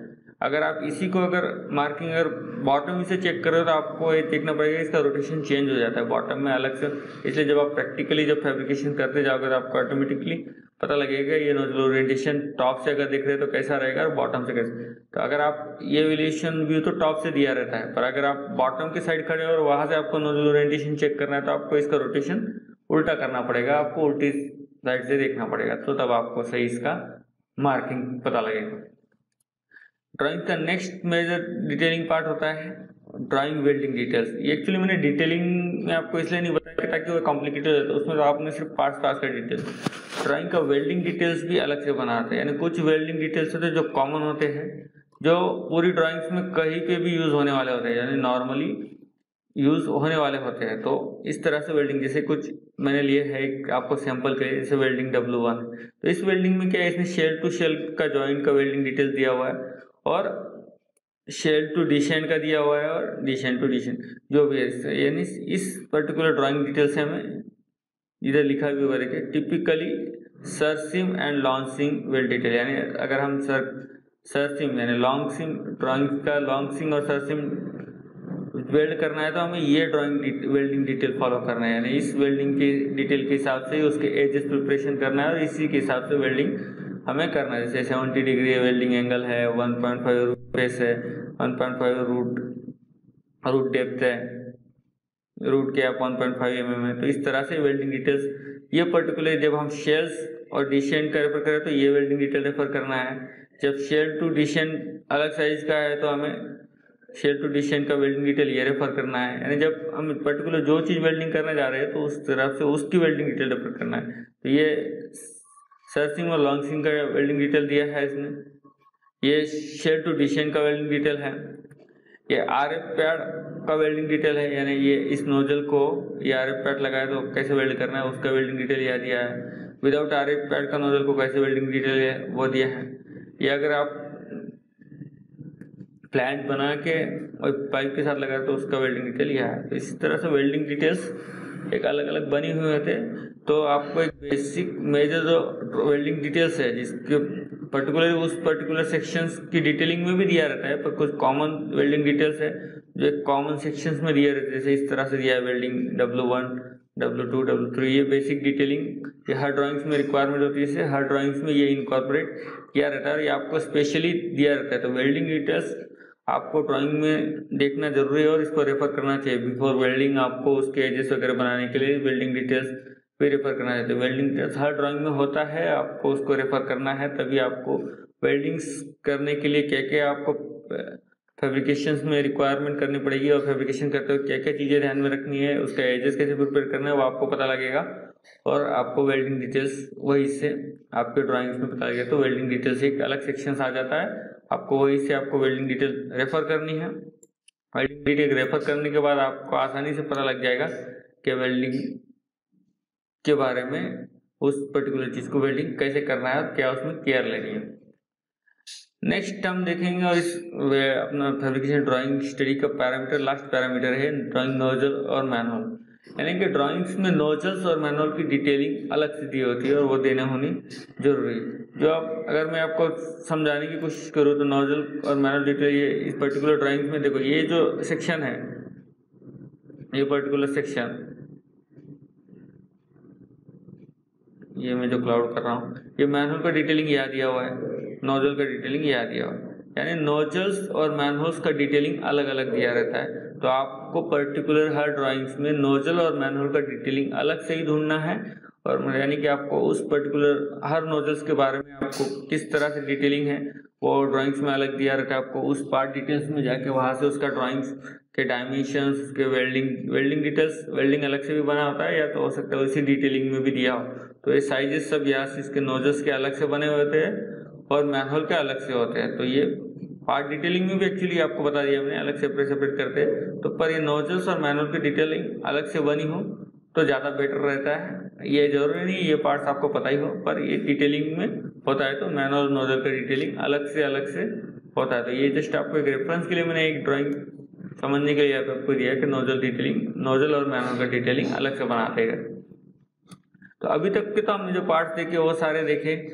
कि ड्राइंग्स में क्या क्या कंपोनेंट्स होते हैं कौन कौन से पार्ट्स कहाँ पे होते हैं क्या क्या चीज़ें होती वो सब आपने वहाँ से अभी ड्राइंग स्टडी करते हो क्या क्या ध्यान में देना है, क्या देखना है, वो सब आपने उस ड्राइंग्स पैरामीटर के साथ। अभी हम पर्टिकुलर एक specially fabrication drawing general pressure की ड्राइंग को स्टडी करते हैं ताकि आपको मैंने जो पिछले प्रीवियस में बताया वो सब पता लगे वो चीज़ है क्या। तो ये जो है प्रेशर के बारे में तो एक जनरल प्रेशर का एक ड्राइंग हाईलाइट किया। हो सकता है आपको ये अच्छे से ना दिखे तो मैं आपको डिस्क्रिप्शन में इसका एक डाउनलोडेबल लिंक दे दूँगा, इस ड्राइंग्स का अगर मेरे पास रहेगा तो।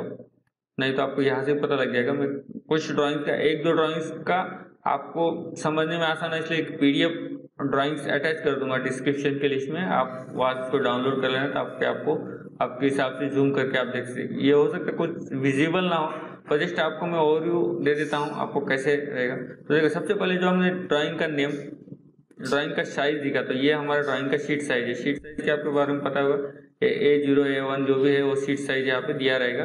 वो दिया भी रहता है, ये शीट कौन सी प्रिंट में आपको देखने के बाद भी जब अगर आप पर्टिकुलर काम कर रहे हो तो आपको पता लग जाता है ये शीट कौन सी ड्राइंग में फिट के तो शीट साइज़ से आपको ज़्यादा ये नहीं है, पर आपको जब ड्राइंग प्रिंट कर रहे हैं तो उसी वक्त ध्यान रखना कि हर डिटेलिंग आसानी से दिखे, इसलिए उसी पर्टिकुलर शीट साइज़ रेफर करना। नेक्स्ट हमने देखा था ड्राइंग का नेम प्लेट ये जो सेक्शन है, ये ड्राइंग के सेक्शन में ये हो गया नेम प्लेट का डिटेल तो यहाँ पे इसका नाम वगैरह, ये इस ड्राइंग्स में अलग तरीके की नेम प्लेट डिटेल बने, पर नेम प्लेट डिटेल यहाँ पे होती है। ये जो है नेम प्लेट डिटेल हो गया। ओके नेक्स्ट हमने देखा रिवीजन चार्ट ये जो इसके ऊपर दिया है, ये रिवीजन चार्ट है इसके ऊपर. ये कभी कभी यहाँ होता है कभी कभी इधर भी होता है, पर ये बाकी चीज़ें भी प्लेस करने तो इसलिए इस ड्राफ्ट पे डिपेंड है कौन सी चीज़ें कहाँ प्लेस करें ये हो, इधर उधर इस एरिया में किधर भी हो सकती है, पर इस केस में इस रिवीजन चार्ट इसके ऊपर दिया ये जो है रिवीजन चार्ट रिवीजन के नेक्स्ट ऊपर दिया है ये बिल ऑफ़ मटेरियल यानी बिल ऑफ़ मटेरियल का सेक्शन यहाँ पे बिल ऑफ़ मटेरियल का सेक्शन यहाँ पे दिया हुआ है. नेक्स्ट जो था ड्राइंग डिज़ाइन डाटा और टेक्निकल डिटेल ये जो टॉप में सेक्शन बताया ये है डिज़ाइन डाटा और टेक्निकल डिटेल यहाँ पे बने हुए ये कुछ डिटेलिंग यहाँ पे अलग से भी बनी हुई है। इसी से इनकॉर्पोरेट है। आप कुछ अलग से तो आप अलग से भी कुछ डिटेलिंग है। तो मैंने बताया वो मेजर डिटेलिंग है, वो उतनी चीज़ें वहाँ पर ये जो आप देख रहे हैं इस सेक्शंस में, ये है नोजल शेड्यूल तो नोजल शेड्यूल यहाँ पे बना हुआ है। और ये जो सेक्शन है पर्टिकुलर ये है ड्राइंग्स नोट्स का ड्राइंग्स नोट्स का। तो इस तरह से जो हमने बताए थे आपको जो पैरामीटर्स ड्राइंग शीट्स हो गया नेम प्लेट हो गया रिवीजन चार्ट हो गया बिल ऑफ़ मटेरियल हो गया ड्राइंग डिज़ाइन और टेक्निकल डिटेल्स हो गया ड्राइंग नोट्स हो गया नोजो शेड्यूल्स हो गया, ये ड्राइंग में पर्टिकुलर इस सेक्शन में हो गया था। पार्ट डिटेलिंग हो गया, अगर ये दो दो व्यूज़ है, इनकी डिटेलिंग्स ये जो बनी हुई है, ये सब डिटेलिंग है, इसको बोलते हैं पार्ट डिटेलिंग ये ड्राइंग में रेफरेंस लाइन लिया है ये देखो ये जो डॉटर दिया है, यहाँ पे पर्टिकुलर रेफरेंस लाइन मार्क भी क्या होता है, और इसी डायमेंशन इसी से रेफरेंस सारे डायमेंशन लिए है, इसलिए हम रेफरेंस इसको मानते हैं तो ये रेफरेंस है। इसमें अगर व्यूज़ देखोगे तो ये एलिवेशन व्यू है, ये टॉप व्यू है और प्लान व्यू है।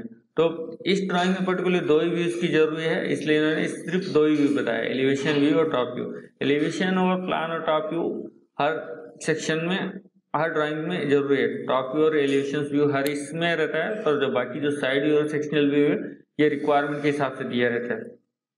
तो अभी इस केस में जो हमने नोजल ओरिएंटेशन देखा तो ये प्लान व्यू में इसका नोजल ओरिएंटेशन दिया है। तो प्लान व्यू में ही नोजल ओरिएंटेशन ऐसा नहीं कि नोजल ओरिएंटेशन अलग से दिया था प्लान व्यू में ही इसका नोजल ओरिएंटेशन होता है यहाँ लिखा भी होता है ओरिएंटेशन और प्लान प्लान व्यू ओरिएंटेशन का है, ये ओरिएंटेशन है। ये डिटेलिंग बनी हुई है। हर चीज़ की डिटेलिंग अब अगर ये जो पर्टिकुलर सेक्शन है ये वेल्डिंग डिटेल्स के बारे में है जो हमने अभी देखा लास्ट में ये हुक ये इसमें लगने वाले कंपोनेंट्स के डिटेलिंग है। इस नो, जो नोजल और मैनुअल का डिटेलिंग देखा है ये मैनहोल का डिटेल है ये नोजल का डिटेलिंग है। प्रीवियस स्लाइड में भी मैंने आपको समझाया।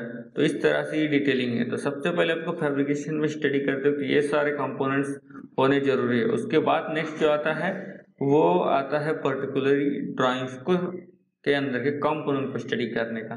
तो सबसे पहले जब आप इस कंपोनेंट की स्टडी की शुरुआत करें तो सबसे पहले आपने क्या करना है, सबसे पहले इसके व्यूज़ देखने हैं एलिवेशन व्यू और प्लान व्यू इसके बाद आपने रेफरेंस ढूंढना है रेफरेंस कहा है रेफरेंस लाइन रेफरेंस करने के बाद जस्ट आपने ये सारी, सबसे पहले ये दो व्यूज़ को लुकअप करना है और इसी के बारे में सारे डायमेंशन देखना है कौन सा डायमेंशन कहाँ से दिया है, कितना दिया है क्या क्या पार्ट इसमें लगे यहाँ से आपको एक पूरा डिटेलिंग है। सबसे पहले आपको अगर ड्राइंग स्टडी करना है तो प्लान व्यू और एलिवेशन व्यू को समझना ज़रूरी है। उसके बाद आप डिटेलिंग पे जाइए। यानी कि जब आप प्लान व्यू और एलिवेशन व्यू को सबसे पहले स्टडी करिए। सबसे पहले अगर आप एलिवेशन व्यू स्टडी कर रहे हैं। तो पहले आप जस्ट ओवरव्यू करके जस्ट आप आँखों के से रेफर करके हर चीज़ को एक यहाँ से पढ़ के ही पहले आप एक जनरलाइज आइडिया क्लियर कीजिए। माइंड में कि ये चीज़ है क्या और कैसे बनी। जब आपको प्लान व्यू और टॉप एलिवेशन व्यू समझ में आ गया तो आप अब नेक्स्ट आप इसकी डिटेलिंग में जा सकते हो। तो पहले मैं आपको बताऊँ कि आपको सबसे पहले ये सारे कंपोनेंट पता है आपको उसके बाद व्यूज़ व्यू करने हैं एलिवेशन व्यू टॉप व्यू में क्या दिख रहा है। उसके बाद हर एक पार्ट को इसने एक नंबरिंग दिया रहेगा detail X detail Y detail Z जो भी डिटेलिंग दिया है, हर जस्ट आपने पहले आप उस डिटेलिंग के हिसाब से देखना है और डिटेलिंग है क्या नहीं है, ये चेक करना है। जब आपने ड्राइंग में सारा चेक कर ले कि हर एक चीज़ का डिटेलिंग जो बोला है वो हर चीज़ का डिटेलिंग यहाँ दिया हुआ है। जब आप एक बार इस दोनों व्यूज़ को स्टडी कर ले, आपने देख लिया कि सारी डिटेलिंग बनी हुई उसके बाद नेक्स्ट आपका काम है कि आप बी रेफर करें। तो बी में सबसे पहले जो कंपोनेंट होता है, वो देखिए आप, उसका आइडेंटिफाई मार्क याद होंगे जैसे कि इसमें अगर बी का फ़र्स्ट आइडेंटिफाई शेल है, यहाँ पे आपको इजीली दिख नहीं रहा है, पर आप जब ड्राइंग स्टडी करोगे तो आपको पता लगेगा। जैसे मैं अभी एक एग्जांपल करता हूँ सबसे पहले पार्ट देखा मैंने शेल्स तो आप मैंने सारे व्यूज़ इसको स्टडी कर ले, इसकी डिटेलिंग कहाँ कहाँ है पता लग गया है। पहले सिर्फ़ मैंने ओवरव्यू किया है, ठीक है? पहले सबसे पहले आपने ओवरव्यू करना है डायमेंशन समझना है। एक्चुअल डायमेंशन आपको जब ये एक एक चीज़ लेके जाओगे, तभी इसका डायमेंशनली डिटेलिंग में जाना है। डीप में जब डायमेंशनल डीप में आप बाद में जाना है, पहले आपको ड्राइंग को समझना है। इसके व्यूज़ क्या क्या है डिटेलिंग कहाँ दी हुई कौन सी डिटेल कहाँ है। ये जब आपको समझ में आया तो आप ड्राइंग के बी से रेफर कीजिए। सबसे पहले देखिए, पहला मार्किंग आपके बी में क्या है? वन वन जो है वन को आप पहले ढूंढिए एलिवेशन में वन क्या है? तो आपको पता लगेगा कि ये जो है शेल इसको वन मार्क दिया। तो आपको ऐसा पता लगेगा तो हमारा जो पहला कंपोनेंट है वो शेल तो शेल के बाद आपको इसको शेल्स में शेल्स बनाने के लिए अगर जब हम इसका डिटेलिंग देखेंगे जो आगे वाले वीडियोस में हम हर पार्ट का डिटेलिंग बताने वाले हैं। और डिटेलिंग में आपको समझाएँगे कौन कौन से डायमेंशन देखने हैं आपको कौन कौन से डायमेंशन ड्राइंग से कहाँ से लेने हैं। वो डिटेलिंग में आपको एक पूरा उसका हर एक पार्ट की डिटेलिंग का एक वीडियो बनाएँगे हम। उसमें आपको हर एक चीज़ का डिटेलिंग पता लगेगा तो वही से आपको ज़्यादा क्लियर होगा कि इस ड्राइंग को पर्टिकुलर ड्राइंग से कैसे उठाते हैं और कैसी चीज़ें यहाँ पे आप मैं समझने के लिए आपको डीप में स्टडी करा दे रहा हूँ ड्राइंग को, कैसे स्टडी करते हैं। और इसका जो डिटेलिंग एक्चुअल डायमेंशन वगैरह हम पार्ट डिटेलिंग जब वीडियो बनाएँगे पार्ट डिटेलिंग का, उसमें आपको बहुत आसानी से अंडरस्टैंड होगा। जैसे मैं एक एक का आपको समझा देता हूँ। जैसे ये एक शेल है तो ये पर्टिकुलर शेल हो गया, समझ लो ये। तो यानी आप एक कंपोनेंट देख रहे हैं तो ये एक कंपोनेंट यहाँ पे इसका नंबर हो गया वन तो आपको अगर जब इसका डिटेलिंग हुई तो आपको इसका एमओसी पता लग जाएगा यहाँ पे एक एमओसी क्या है। तो एमओसी आप कभी कभी डिटेलिंग सेपरेट हर पार्ट की सेपरेट भी बनी होती है कभी कभी नहीं होती। है कुछ जिस चीज़ की नहीं होती, वो ऑलरेडी यहाँ से आसानी से मिलने वाला रहता है, इसलिए उसका डिटेलिंग सेपरेट नहीं बना जो जो पार्ट को एलिवेशन और टॉप व्यू में समझने में थोड़ी दिक्कत हो रही है, उसके अलग से डायमेंशन की रिक्वायरमेंट है। तो उस चीज़ को वह पार्ट डिटेलिंग में अलग अलग से दिखाया रहता है, ताकि आपको इजीली टेबल हो जाए और आसानी से आप पढ़ सकें। जैसे ये अगर है शेल तो इसका वन मार्किंग है। तो इस वन को इस अभी शेल अगर हम रेफर करें तो शेल में सबसे पहले ज़रूरी होता है इसका आईडी इसका हाइट और इसका थिकनेस ये जो थिकनेस है, ये थिकनेस एक ही एक ही कंपोनेंट आपको समझा रहा हूँ, इस तरह से आपने किस तरह से रेफर करना है। जब आप एक एक पार्ट को देखा आपने तो आपको इस, यहाँ पे साइज़ दिया रहेगा इसकी प्लेट का पर्टिकुलर ये किस प्लेट से बनने वाला है, वो दिया रहेगा। पाइप का है तो डायरेक्टली पाइप का साइज़ दिया रहेगा, अगर नहीं है तो आप ये पर्टिकुलर साइज़ की प्लेट से बनने वाला तो इसका लेंथ इस प्लेट का विर्थ और इस प्लेट का थिकनेस ये यहाँ पे इसका रॉ साइज़ में दिया रहेगा। यानी इस शेल्फ को बनाने के लिए जो साइज़ लगने वाली है, वो आपको यहाँ से अब ये साइजेस कैसे कैलकुलेट करते हैं? जब हम लेआउटिंग और पार्ट डिटेलिंग में जाएँगे तो उस वक्त आपको मैं समझाऊँगा कि वो ये डायमेंशन कैसे कैलकुलेट करते हैं और कैसे इसका लेआउटिंग करते हैं। तो वो अलग से वीडियो में रहेगा। इस वीडियो में मैं आपको जस्ट ड्राइंग स्टडी करना सिखा रहा हूँ, इसलिए इसको डिटेलिंग में नहीं जा ठीक है? तो ये इस तरह से शेल्स रहेगा। तो इस यहाँ पे दिया रहेगा शेल दिया रहेगा, या तो शेल प्लेट लिखा रहेगा। ठीक है, पहला कंपोनेंट हो गया शेल शेल प्लेट तो उसका रॉ साइज़ ये जो लेंथ विथ थिकनेस है, ये याद दिया रहेगा. एमओसी इसका याद दिया रहेगा किस एमओसी से बना हुआ है. उसके बाद इसका पर्टिकुलर क्वांटिटी कितना है. यानी अगर ये शेल्स दो पार्ट में रहेगा तो दो क्वांटिटी दिया रहेगा इसका वन पार्ट में तो वन दिया रहेगा. तो इस तरह से, यानी आपको क्या करना है? हर एक चीज़ को बिलो मटेरियल से लेना है, उस चीज़ को याद ढूंढना है उसके डायमेंशंस जो रिक्वायर्ड डायमेंशन जैसे कि अभी अभी इस शेल को बनाने के लिए आपको डाया और हाइट की ज़रूरत है तो आप डाया को देखने के लिए एलिवेशन व्यू से भी मिल सकता है आपको आईडी या तो यहाँ नहीं मिल रहा है तो आप टॉप व्यू रेफर करेंगे, वहाँ से आपको आईडी मिल जाएगा।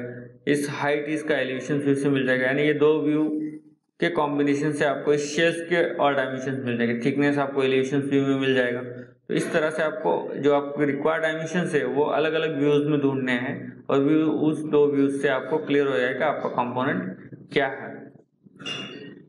तो इसी तरह आप नेक्स्ट डिशन का कर सकते हो। इस तरह से आपने इस बिल ऑफ़ मटेरियल के हर एक पार्ट को separate separate separate separate dimension के साथ स्टडी करना है। जब आप इस सारे बिल ऑफ़ मटेरियल के सारे पार्ट्स को रेफर कर चुके होंगे तो आपको 90 परसेंट से लेके 95 परसेंट से लेके 100 परसेंट की ड्राइंग्स अंडरस्टैंडिंग हो जाएगी। जब आप ये सारे पार्ट्स और सारी चीज़ें रेफर कर लेंगे तो आप समझ लीजिए कि आपने ये ड्राइंग को पर्टिकुलरली स्टडी कर ली।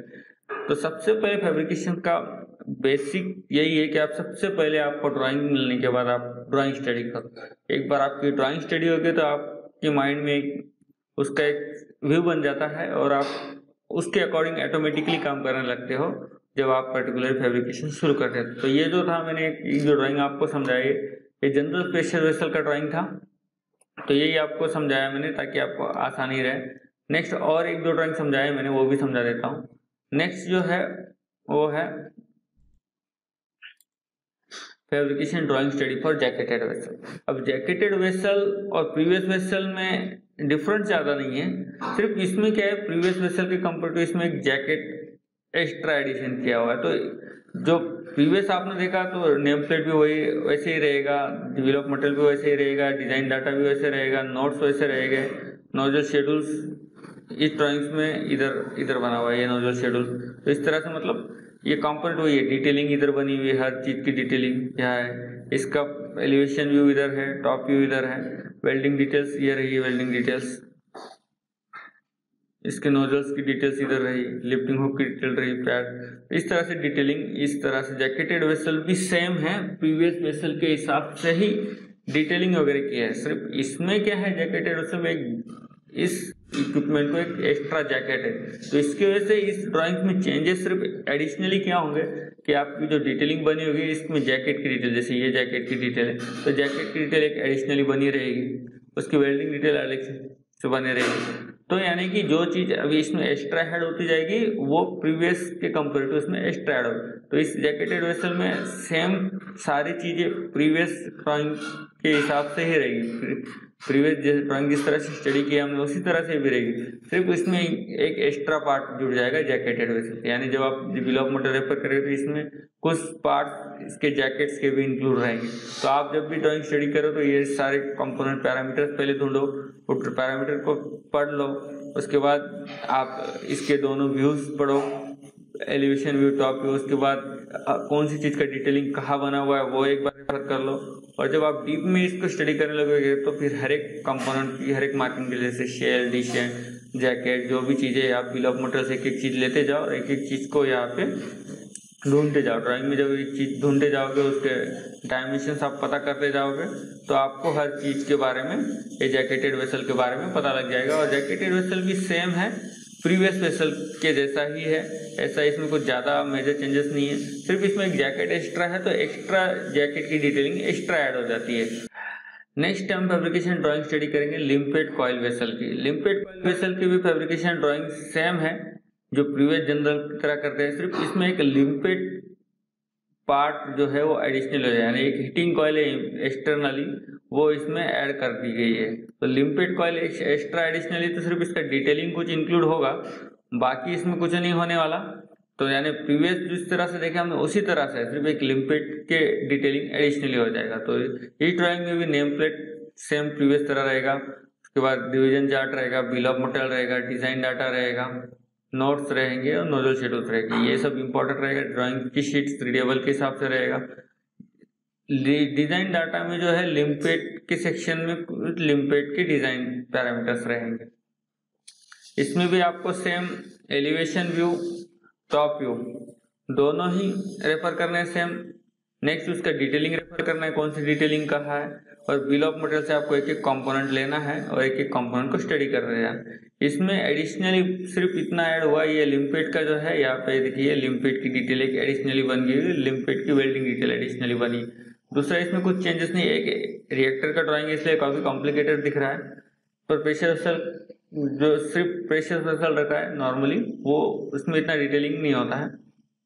पर आपको समझने के लिए आसानी रहे, ज़्यादा डिटेलिंग में पता लगे, इसलिए मैंने एक थोड़ा सा कॉम्प्लिकेटेड ड्राइंग लिया ताकि आपको सारी डिटेलिंग आसानी से पता तो लिम्पेड कॉइल्स की जो टैंक होती है वेसल्स होते हैं, वो भी सेम प्रीवियस वेसल्स की तरह ही होते हैं। और इसके स्टडी भी सेम सारी ड्राइंग फैब्रिकेशन की ड्राइंग की स्टडी करने का प्रोसीजर एक ही है कि आप सारे उसके पैरामीटर्स स्टडी करें, उसके बाद उसके व्यू स्टडी करें, उसके बाद उसके डिटेलिंग स्टडी करें और बिल ऑफ़ मटेरियल से एक एक कॉम्पोनेंट लेके उसके साइजेस एमओसी वगैरह वेरीफाई करें और और सारे डायमेंशन कैलकुलेट करें। तो अभी इसमें अभी आपको जब फैब्रिकेशन ड्राइंग पूरी तरह अंडरस्टैंडिंग के लिए आपको जो हमारा नेक्स्ट वीडियोज़ आएँगे पार्ट डिटेलिंग के लिए, हर चीज़ की डिटेलिंग कैसे करते हैं? जब आप उस डिटेलिंग कैसे करते हैं, उसको समझोगे तो उसमें से आपको हंड्रेड परसेंट फैब्रिकेशन ड्राइंग का नॉलेज हो जाएगा।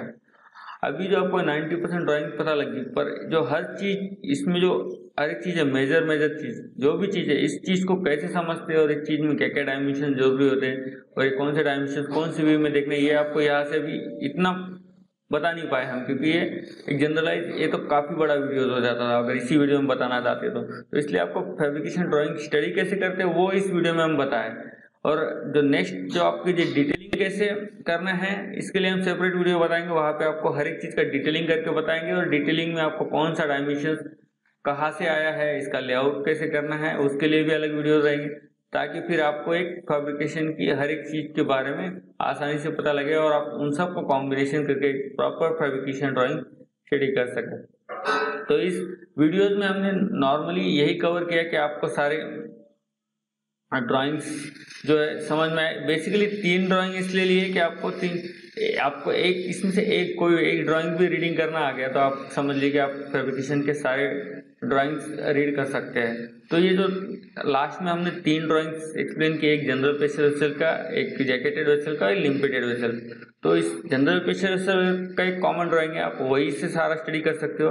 अगर आपके इक्विपमेंट में एडिशनली जैकेट प्रोवाइड किया है तो जैकेटेड वेसल का इसीलिए हमने एक एडिशनल डाला और लिमिटेड का भी इसलिए एडिशनल डाला, ताकि आपको थोड़ा सा अंडरस्टैंडिंग हो जाए कि ये एक्चुअली है क्या।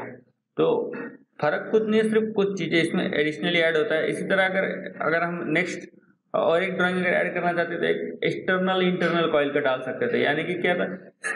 प्रेशर वही रहता है, सिर्फ़ इसमें कोई एक्सटर्नल हीटिंग कॉइल या इंटरनल हीटिंग कॉइल एडिशनल रहती तो वो उसमें आ जाता है। तो मतलब सिर्फ़ उतने पास का डिटेलिंग इंक्लूड हो जाता है प्रीवियस गेम पर। और दूसरा कुछ इसमें चेंजेस नहीं होता। तो इस तरह से ये जो हमने समराइज किया, ये सब आपको फैब्रिकेशन ड्राइंग कैसे स्टडी करते हैं, उसमें क्या क्या पैरामीटर्स होता है ड्राइंग्स में, वो सब इस वीडियो में बताया। तो आपको इसी के बारे में मैं उम्मीद करता हूँ कि आपको सारा कुछ यहाँ पे समझ में आ गया होगा। तो जो कुछ भी था हमने इस वीडियोस में सारे फैब्रिकेशन ड्राइंग स्टडी कैसे करते हैं, उसमें ड्राइंग के कौन कौन से पैरामीटर्स होते हैं, उसके बाद तीनों टाइप के ड्राइंग्स लेके आपको समझा भी दिए ताकि आपको आसानी से। तो उम्मीद करता हूँ मैं आज का हमारा वीडियो आपको काफ़ी बड़ा भी वीडियो हो गया है। उम्मीद करके आपको समझ में भी आया होगा और आप इससे ज़रूर कुछ ना कुछ नॉलेज लिए होंगे। तो आप यहाँ से आपका नॉलेज इंक्रीज कीजिए लेट्स पैप आपके चैनल को सब्सक्राइब कीजिए। आपको अगर हमारा वीडियो अच्छा लगा तो आप हमारे वीडियो के नीचे कमेंट ज़रूर कीजिए। हमारे वीडियो को लाइक कीजिए। और इसको और आपके फैब्रिकेशन से रिलेटेड पेज में जो भी दोस्त है, उन सब के साथ भी शेयर कीजिए और उन सबको भी लेट के बारे में बताएँ ताकि वो भी फैब्रिकेशन का नॉलेज बढ़ा सके और ले सके। तो उम्मीद करता हूँ आपको हमारा वीडियो अच्छा लगा होगा। मैं आपसे रिक्वेस्ट करूँगा कि आप हमारे फैब्रिकेशन के टूल्स को भी ज़रूर यूज़ कीजिए, ताकि अगर आप हमारे फैब्रिकेशन टूल्स को यूज़ करके अगर फैब्रिकेशन शुरू करते हैं तो आप, आपका काफ़ी वैल्यूबल समय बचा सकते हैं, आप एक्यूरेसी ला सकते हैं और इफिशेंसी बढ़ा सकते हैं। हम आपको समझाने की कोशिश लेकर के हर चीज़ आपको समझ में भी आए, पर वो चीज़ में टाइम कैसे सेव करते हैं, वो भी हमारा मोटो है। तो हमारा मोटो यही है कि आप भी प्रॉम्प्ट एक फेब्रिकेशन अच्छे इंजीनियर बने, आप टाइम सेविंग कर सके और फास्ट काम कर सके। इसलिए आपको अंडरस्टैंडिंग के लिए ये हमने टूल्स बनाए हुए हैं। अगर आपके पास भी ऐसा कोई आइडिया है जो टूल्स अभी तक की आपको कहीं नहीं मिला हो और आप चाहते हो कि फेब्रिकेशन में ये चीज़ काफ़ी यूजफुल है और काफ़ी यूज़ होती है और फैब्रिकेशन इस पर अपने ऐसा टूल कोई डेवलप नहीं किया गया तो आपके पास ऐसा कोई नई आइडिया है तो आप हमें कमेंट में ज़रूर शेयर कीजिए। आप हमारी वेबसाइट को विज़िट कर सकते हैं डिटेलिंग के लिए और आप हमें कोई आइडिया हो तो ज़रूर बताइए ताकि हम आपके लिए वो टूल्स भी लेके आ सकें। उम्मीद करता हूँ आपको हमारा वीडियो अच्छा लगेगा अगर आपको हमारा वीडियो लगे तो आप हमें ट्विटर पे भी फॉलो कर सकते हैं फैबलेट्स पे करके इंस्टाग्राम पे फॉलो कर सकते हो और फेसबुक पे फॉलो कर सकते